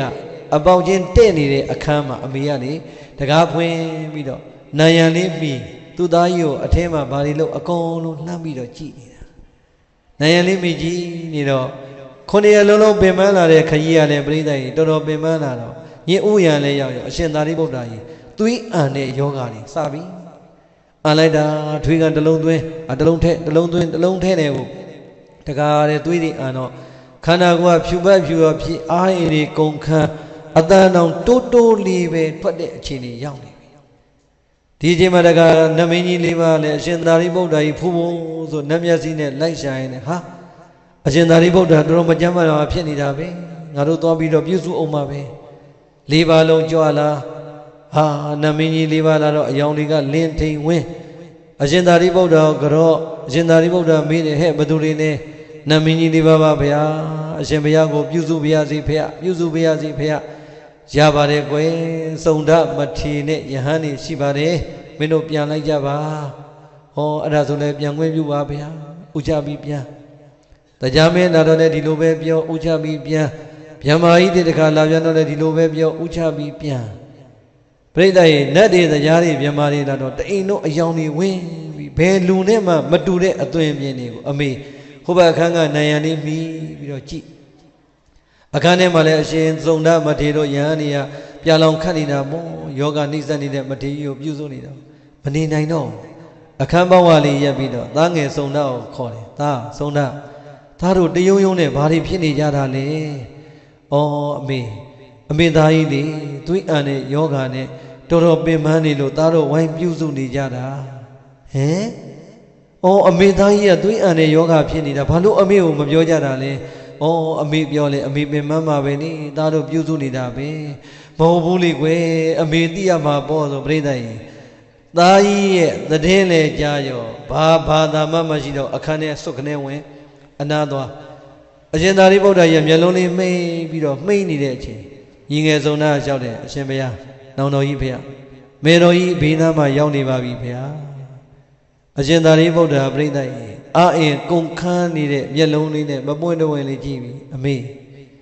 ဘာဖြစ်လို့ဒီအချိန်ကြီးမအေးသေးပဲနဲ့ရောက်လာတာလဲတန်းကောင်ရောင်ရောက်နေပြီလေသားရဲ့အမေလေးအမေခန်းကနေသားကိုကြည့်နေတာသားအဲ့လိုဖြစ်တာဘယ်သူမှအမေကိုမပြောကြဘူးသားရင်အခုသားမလုံနေလဲရင်သားဘလုံနေတဲ့တတ်တာလာရင်ဘာမှမပြောတော့ဘူးပြိတ္တာသားကရင်ပေးလေးမှာခတ်ဆောင်ဆောင်လေးထိုင်မှာပေါ့သားလက်လေးကိုဆုံးလူမမမင်းနေတဲ့ချိန် အမေလက်လေးကိုလည်းသားလက်တစ်ဖက်လေးနဲ့ပြန်ဆုံးပြီးတော့မှတတ်တာပါတယ်မင်းတတ်တာပါတယ်ပေါ့တတ်တာပါတယ်သာပြောတာပြိတ္တာရဲ့သွေးကဆုပ်ပြီးတော့အတန်အောင်တိုးတိုးပဲထွက်တော့တယ်ဒီတော့အမေကိုတတ်တာပါတယ်လည်းပြောအမေကအော်တော်ပါသေးရဲ့သားရဲ့အမေကိုဘာလို့မပြောတာလဲအမေစိတ်မကောင်းလိုက်တာပေါ့မျက်ရည်ကကျနေပြီအဲ့ဒီအချိန်မှာပဲဘာသွားတတိယလဲဆိုသားဟိုစောစောကလေငါသားခံနေကွယ်အမေဟိုဘက်ကကြည်ညာလူကြီးတွေနော်လူတုလူဆန်းကြီးတွေအယောင်တွေတဝင်းဝင်းနဲ့ လာကြတာပြီးတော့သားကိုဥတွေချပြီးတော့ကြော့ပြီးပြန်သွားတယ်အဲ့ဒါဘသူတွေတော့သားရဲ့ပြောပြပါအောင်အော်အမေအဲ့ဒါလူတွေမဟုတ်ဘူးအမေရဲ့နမင်းကြီးလေးပါလေသားကိုကျမ်းမာရေးပြုစုဖို့လာလျှောက်ကြတာသားကရှိပါတယ်ပြန်လိုက်စလို့ကြော့ပြီးတော့ပြန်ကြတာပါအမေအောင်းတယ်ဟမ်နမင်းကြီးလေးပါကငါသားကြီးကိုကြော့ရတယ်ဟုတ်တယ်လေမိကကြော့သွားတာအမေမြင်တာပဲ ဟောငါသားနမင်းကြီးလေးပါတဲ့တကိုးကြီးတာပေါ့ဩတကိုးကြီးလို့ကြောတာပေါ့အမေအဲ့လိုလည်းပြောပြီးရောဟဲ့ဟိုတယောက်တည်းတယောက်တည်းလာတဲ့လူကြီးနဲ့ကြောသေးတယ်ပြောပါအောင်သားအဲ့ဒါရောဘသူကြီးလို့မေကိုပြောပါအောင်စိတ်ဝင်စားသွားပြီအော်အမေအဲ့ဒါနတ်တို့တနင်တရားမင်းဆိုတာသူပေါ့အမေမျက်လုံးစုံပြူးသွားပြီဟမ်တရားမင်းကြီးကအမေသားကိုကြောရတယ်အမလီအမေရဲ့အဲ့တရားမင်းကကိုရင်ကျောင်းသားလေးလိုပဲ သားအန်နဲ့သွေးထွေးကနေဆေးဖို့လာတာအမေရဲ့အောင်မလီတော်အော်လိုက်တာငါသားကြီးကဂေါရမနောက်လိုက်သွားတာအဲ့ဒါလိုကိုတကိုးတွေကြီးနေတာပေါ့ပြိတ္တရဲ့တကိုးကိုပဲအဓိကထားတဲ့အယူဝါဒဆိုတော့သူသားကြီးကိုနတ်တွေကြောရတာအာတရားမင်းကြောရတာတွေကိုကြည်ပြီးတော့တိတဲ့တိသွားရောကျေနပ်လိုက်တာမှပြိတ္တရဲ့စာထဲမှာအမေလေးတဲ့သူသားအတွက်ဝမ်းသာလိုက်တာအကုန်မိ ပီတိ၅မျိုးကိုတပြိုင်တည်းခန္ဓာကိုယ်မှာခံစားနေရတယ်ပရိသတ်ရဲ့သားအတွက်မုဒိတာအစ်စ်တွေအမိနှလုံးသားတွေကပေါ်မလာဘူးလားအဲ့လိုလဲပြောပြီးရောဒီပေါင်းသားဟိုနောက်ဆုံးလာတဲ့အုပ်စုအောင်ဘယ်သူတွေလဲရင်အဲ့ကြောင့်အရှင်သာရိပုတ္တရာသိပြီအမေအဲ့ဒါတည်းကြားမဟုတ်ဘူးဗျမပြေကမဟာဗျမကြီးတွေလာကြတာအရှင်သာရိပုတ္တရာတို့အမေကဗျမကိုကိုးကွယ်တဲ့ဝါဒဆိုတော့ အမေပရိသတ်ရေဂရင်မောကနေထခုံမနဲ့အံ့ဩသွားဟမ်အမေတို့ကိုးကွယ်တဲ့ဗျမလားဟုတ်တာဗောအမေ။အိုးအမေတို့ကိုးကွယ်တဲ့ဗျမအမေသားကြီးကိုကြော့ရတယ်။အောင်မလီအမေသားဆိုရင်ကြော့ယုံနဲ့ထားလိုက်မြတ်စွာဘုရားအလောင်းတော်လေးမွေးတဲ့အချိန်တုန်းကလေဗျမတွေကဒီအလောင်းတော်ဒီမြေပေါ်ကြမှာဆိုလို့အောက်ကနေဗျမကွန်ရက်နဲ့စောင့်ပြီးတော့ခံနေကြရတာအမေလည်းပြောလိုက်ရော အောင်မလီသားရဲ့ယုံပါပြီငါသားကြီးတော်ဒီလောက်တကိုးကျွယ်နေငါသားရဲ့ဆရာဂေါရမဘယ်လိုလုပ်ပြောစရာရှိတော့မလဲလို့မြတ်စွာဘုရားရဲ့အထံကိုလည်းအမိစိတ်ရောက်သွားတာသိပြီအမိစိတ်ထဲမှာလည်းသားကြောင့်ကျင်တတ်တဲ့ပီတိတွေဝမ်းသာတဲ့စိတ်တွေကနေကိုယ်စိတ်အေးချမ်းနေတဲ့ပတ္တိတွေဖြစ်တာလည်းသိပြီကိုယ်စိတ်ချမ်းသာနေတာလည်းသိပြီဖြစ်တဲ့အတွက်အရှင်သာရိပုတ္တသဘောပေါက်ပြီငါအမိကိုတရားဟောလို့ရပြီ အဲ့ဒီအချိန်မှာပြိဿကြီးဘာမှမဟောဘူးမြတ်စွာဘုရားရဲ့ခုံတော်တွေကိုတပုတ်ချင်းတပုတ်ချင်းတပုတ်ချင်းဟောလိုက်တာအမေရဲ့စိတ်အစဉ်ဒီမြတ်စွာဘုရားထံမှာပဲစိတ်တွေရောက်ပြီးတော့အဲ့ဒီမှာនិဝရဏတရားတွေငြိမ်ပြီးဘာအာယုံမှမရှိကိလေသာငြိမ်နေတဲ့အချိန်မှာအရှင်သာရိပုတ္တရာကအဲ့ဒီအခိုင်ဒီမှာအမေတဲ့ရှင်တော်မြတ်ဘုရားကိုဖို့တွေးကြည်ညိုရတဲ့အတွက်ကြည်လင်နေတဲ့အမေရဲ့စိတ်ဟာလည်းပဲ ကြည်လင်တဲ့သဘောလေးဆိုတာခဏလေးပါပဲဖြစ်ပြီးရင်ပြတ်မှာဆိုတာကို အမေသိအောင်ဝိပဿနာမှတ်လိုက်စမ်းပါအောင်အမေကြည်လင်တဲ့စိတ်ဆိုတာလေခဏလေးပဲအမေရဲ့ဝမ်းသာတဲ့စိတ်ဟာလေခဏလေးပဲအပျော်တဲ့စိတ်ဟာလေခဏလေးပဲစိတ်နဲ့ရုပ်ဆိုတာတတိကတ်စောင့်မှတ်ရင်ဖြစ်ပြီးပြက်ဖြစ်ပြီးပြက်တာပဲရှိတယ်အမေအမြဲတည်တာမရှိတော့ဘူးအမေရဲ့လို့ဝိပဿနာတရားလေးရှုမှတ်ပွားဖို့ဟောလိုက်တာ အမေစိတ်ဒီယုံနာရဲ့ဖြစ်ပြတ်မှာပြိဿကြီးတက်တက်တက်တက်နဲ့မှတ်သွားလိုက်တာတရားလဲဆုံးရောသောတာပတ္တိမညံဖုန်ညာဆိုက်တဲ့သောတာပန်အမေဖြစ်သွားပါပြီပြိဿကြီးဘာဖြစ်သွားကြည်စမ်းသောတာပန်အမေဖြစ်ဖို့ရန်အတွက်အာအင်အပြည့်နဲ့အခုလိုဟောနေတာဟွဲ့လားပရိသတ်ကြီးသွေးဆုံးပြီးဖြူပြက်ဖြူရောခန္ဓာကိုယ်လေးကို မထွက်တတ်အတန်လေးထိမ့်ပြီးတော့အမေကိုနောက်ဆုံးအချိန်အထိကျေးဇူးဆက်ပြီးဟောမသွားဘူးလားအဲ့ဒါပဲဘုန်းကြီးတို့ဒီအမေဖေကအရင်သေးမာလားကိုကအရင်သေးမာလားသိလို့ရလားဘယ်သူအရင်သေးသေးကိုယ့်ရဲ့နောက်ဆုံးထွက်သက်အထီနဲ့အမေတို့အဖေတို့ကိုကျေးဇူးဆက်ဖို့စောင့်နေတဲ့သာသမီဖြစ်ဖို့လိုတယ်လို့အမေတို့အဖေတို့အတွက်လည်းနောက်ဆုံးထွက်သက်အထိကတင်ဘေးမှာကျေးဇူးဆက်နိုင်တဲ့သာသမီဖြစ်ဖို့မလိုဘူးလား အဲ့တော့တော့အရှင်သာရိပုတ္တရာမပြီးသေးဘူးအမေကိုနောက်ထပ်ဟောရင်သက္ကရာကံများဖြစ်နိုင်အောင်မလားဆင်ញင်လိုက်တဲ့အခါရွှေညံထဲမှာတိလိုက်ပြီမဖြစ်နိုင်တော့ဘူးအဲ့ဒါနဲ့ပဲအမေတကောင်ကြောပြီးအမေသွားနာလိုက်တော့အေးအေးအေးအမေသွားနာတော့မယ်ဂျေစုတင်လိုက်တာသားရဲ့သားရဲ့ဂျေစုနဲ့အမေဟာယန္တာမြတ်သုံးပါးနဲ့ကံကံရဲ့ကျိုးကိုပြတ်သားစွာယုံကြည်ရုံနဲ့မဟုတ်နှလုံးသားမှာကိလေသာအစိတ်အပိုင်းကြီးတောင်ကင်းတဲ့သောတာပန်ဖြစ်သွားပြီပဲ သားရဲ့ကိုဂျေစုတင်စကားတွေရှောက်အခန်းထဲမှာသွားနာအဲ့ဒီအချိန်မှာပဲအရှင်သာရိပုတ္တရာကအရှင်ဆုံးနာကိုမေးတယ်ညီလေးဘယ်အချိန်ရောက်ပြီလဲမှန်လားပါဗျာမိုးတောက်ရန်ကုဇရောက်ပါပြီဖျားအေးအေးအေးဒါလေးပဲပြောပြီးတော့အမေခင်းပေးတဲ့ဂရင်ဘော်ကအိယာခင်းနဲ့ခေါင်းအုံးလေးပေါ်မှာမှိန်ပြီးတော့ပထမဇန်ဒုတိယဇန်တတိယဇန်သရုဒ္ဓဇန်စတဲ့ ဇန်အချင်းစင်ကိုပြိဿကြီးအပြန်အလှန်ဝင်စားပြီးတော့အဲ့ဒီဇန်လေးခံစားပြီးချိန်မှာပဲအရှင်သာရိပုတ္တရာပြိဋိဘံဝင်ဆန်တော်မူသွားပါပြီ။ဘာဖြစ်သွားပြီလဲ။ပြိဋိဘံဆန်သွားပြီနောက်ဆုံးထွက်သက်နာအထိအမေကိုကျေးဇူးမဆက်ခဲ့ဘူးလား။အေးဒါကြောင့်ဘဝတစ်လျှောက်လုံးဘာသာအယူဝါဒကြောင့်သုံးနဲ့လေးလိုပဲသွေးနီးပေမဲ့ဝေးနေခဲ့တဲ့အမေကို ပြစ်မထားဘူးဆိုတာဒီသုတ်တံမှာမရှင်းဘူးလား။အေးဒါကြောင့်ရှင်တော်မြတ်ဘုရားရဲ့သားတော်ကြီးအရှင်သာရိပုတ္တရာမထေရမြတ်ကြီးတောင်မှဘဝတကုမအယူဝါဒမတုလို့သွေးနီးတဲ့သားမီးနှစ်ယောက်ကြမှာသုံးနဲ့လေးလို့သွေးနီးပေမဲ့ဝေးနေတဲ့ဝေးနေညတော်လဲနောက်ဆုံးထွက်သက်တိုင်အောင်အမိကိုလေးနဲ့သုံးလို့သားမီးနှစ်ယောက်ကရင်ဘီနဲ့ကရင်ပေါ်မှာမျက်နှာချင်းဆိုင်လို့ကြီးစိုးတွေဆက်ခဲ့သေးတယ်ဆိုရင်ဘု န်းကြီးတို့အားလုံးအတွက်ဒီတဲ့ကောင်းတဲ့နမူနာရှိအောင်မလားမရှိတော့ဘူးဒီတော့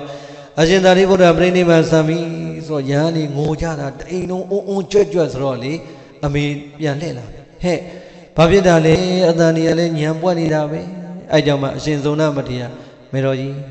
နောင်တော်ကြီးပြိဋိဘံဆက်သိမ့်သွားပါပြီဩငါသားကြီးသိပြီဩအောင်မလေးသားရဲ့ ဘဝတရားလုံးနီးရနဲ့ဝေခဲ့တဲ့သားကြီးနဲ့အမေရဲ့ကြားထဲမှာငါသားကြီးကနောက်ဆုံးထွက်သက်တိုင်အောင်အမေအိမ်ကိုပြန်လာပြီးတော့မှအမေရဲ့နှလုံးသားထဲမှာသောတာပန်ဆိုတဲ့တရားကြီးနဲ့ခြေစိုးတွေပေးဆက်လိုက်ခဲ့တာအမေမှာသောတာပန်ဖြစ်လို့မှလက်လက်ဆက်ဆက်ဘာမှမကြသေးခင်ငါသားကြီးကအမေကိုသေခွဲခွဲလို့အပြစ်တိုင်ထွက်သွားခဲ့ပြီဆိုရင် သားကြီးကြံခဲ့တဲ့အမေဘဝဘယ်လိုနေမဲဆိုတာငါသားကြီးမတွက်သွားခဲ့ဘူးလားကွယ်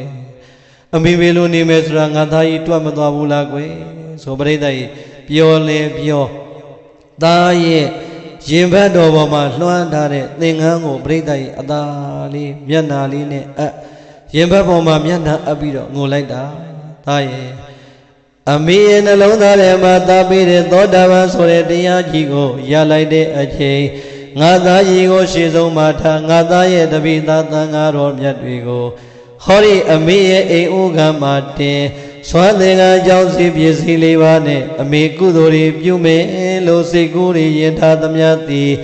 အမေကိုငါသားကြီးကတသက်လုံးလွန်အောင်ကိုထားခဲ့လာလာသားရဲ့ ပြောလဲပြောငိုလဲငိုပြိဿရဲ့သင်္ကန်းပေါ်မှာမျက်ရည်တွေရွှဲဆိုးနေတဲ့အခြေအနေရောက်တော့အရှင်ဆုံးသားကသိပြီအမေသတိထားပါမေနောင်တော်ကြီးအတွက်သာဗနာပွဲကျင်းပဖို့ကြံပါသေးတယ်အမေကျော်လေးအသာတက်ပြီးတော့မှတဖြည်းဖြည်းအမေကိုခွာဖို့ဆွဲထုတ်လာပြီးတဲ့အချိန်အမေနှလုံးသားထဲကသားကိုပြန်ပြီးတော့ပေးဆက်ခြင်းနဲ့ကျေးဇူးဟာဘလောက်ထက်သန်လဲဆိုရင် ဘာန္တာတိုက်ထဲကရွှေတုံးငွေတုံးတွေရွှေတုံးတွေအကုန်ထုတ်ရွှေပရိသတ်တွေကိုခေါ်ရွှေပန်းတွေခတ်ခိုင်းပြီးတော့ပရိသတ်ကြီးယောဂလတ်တော်ရဲ့တလားမာယောမန္တမာယောအကုန်လုံးရွှေပန်းခတ်တွေအစ်စ်တွေနဲ့ပူဇော်ပြီးတော့အဲ့ဒီမှာမေတော်ကြီးဥဆောင်တဲ့သာပနာပွဲကိုဆင်နွှဲပါတယ်ကဲဒါဆိုရင်ပြိဿကြီးနီးရက်နဲ့ဝေးတဲ့သုံးနဲ့လေးသည်လေးနဲ့သုံးဖြစ်တဲ့အချိန်မှာအပြုံးများနဲ့ကြံခဲ့မလားမကြံခဲ့လား ကြံခဲ့တယ်သေခွဲခွဲလို့ဝမ်းနေတာတော့ဒါသဘာဝပဲသို့တော့ဝမ်းနေเสียမလိုတာကတော့အမိအတွက်သောတာပန်ဆိုတဲ့တရားတူကြီးမပေးခဲ့ဘူးလားပေးခဲ့တယ်ဒါကြောင့် အလုံးသောဒုဓမ္မဆွေတော်မျိုးတော်တွေဘဝတကူမှာတလောကလုံးဘယ်သူနဲ့မှမတူတဲ့ကြုံရဆုံရတဲ့မိဘနှစ်ပါးရဲ့အပေါ်မှာနီးရနဲ့ဝေးနေတဲ့သုံးနဲ့လေးလုံးဘယ်တော့မှမဖြစ်စေပဲနဲ့ လေးနဲ့သုံးလုံးအပြုံးချင်းတွေမျက်နှာချင်းဆိုင်ဖလှယ်ကြကုန်၍အမေတို့အဖေတို့ရဲ့အပေါ်မှာပစ္စည်းတွေနဲ့လည်းကျေစုပေးဆက်နိုင်ကြပါစေတရားနဲ့လည်းကျေစုပေးဆက်နိုင်ကြပါစေပစ္စည်းဓမ္မနတနာနဲ့ပေးဆက်နိုင်ကြကုန်၍မိမိရဲ့ကုသိုလ်ကံစွာအားရတက်ကြကုန်၍ဘဝချမ်းသာများနဲ့ဓိတတိုးတက်ပြည့်စုံတဲ့သာကောင်းယရဏသမိလိမ္မာတွေဖြစ်ကြပါစေ နိဗ္ဗာန်ချမ်းသာတန်အောင်လေကိုယ်စီကိုယ်ငါရကြတဲ့သာကောင်းယရဏသမိလိမ္မာမုတ်ချမသွေဖြစ်ကြပါစေကုန်တော့တည်းသာဓုသာဓုသာဓု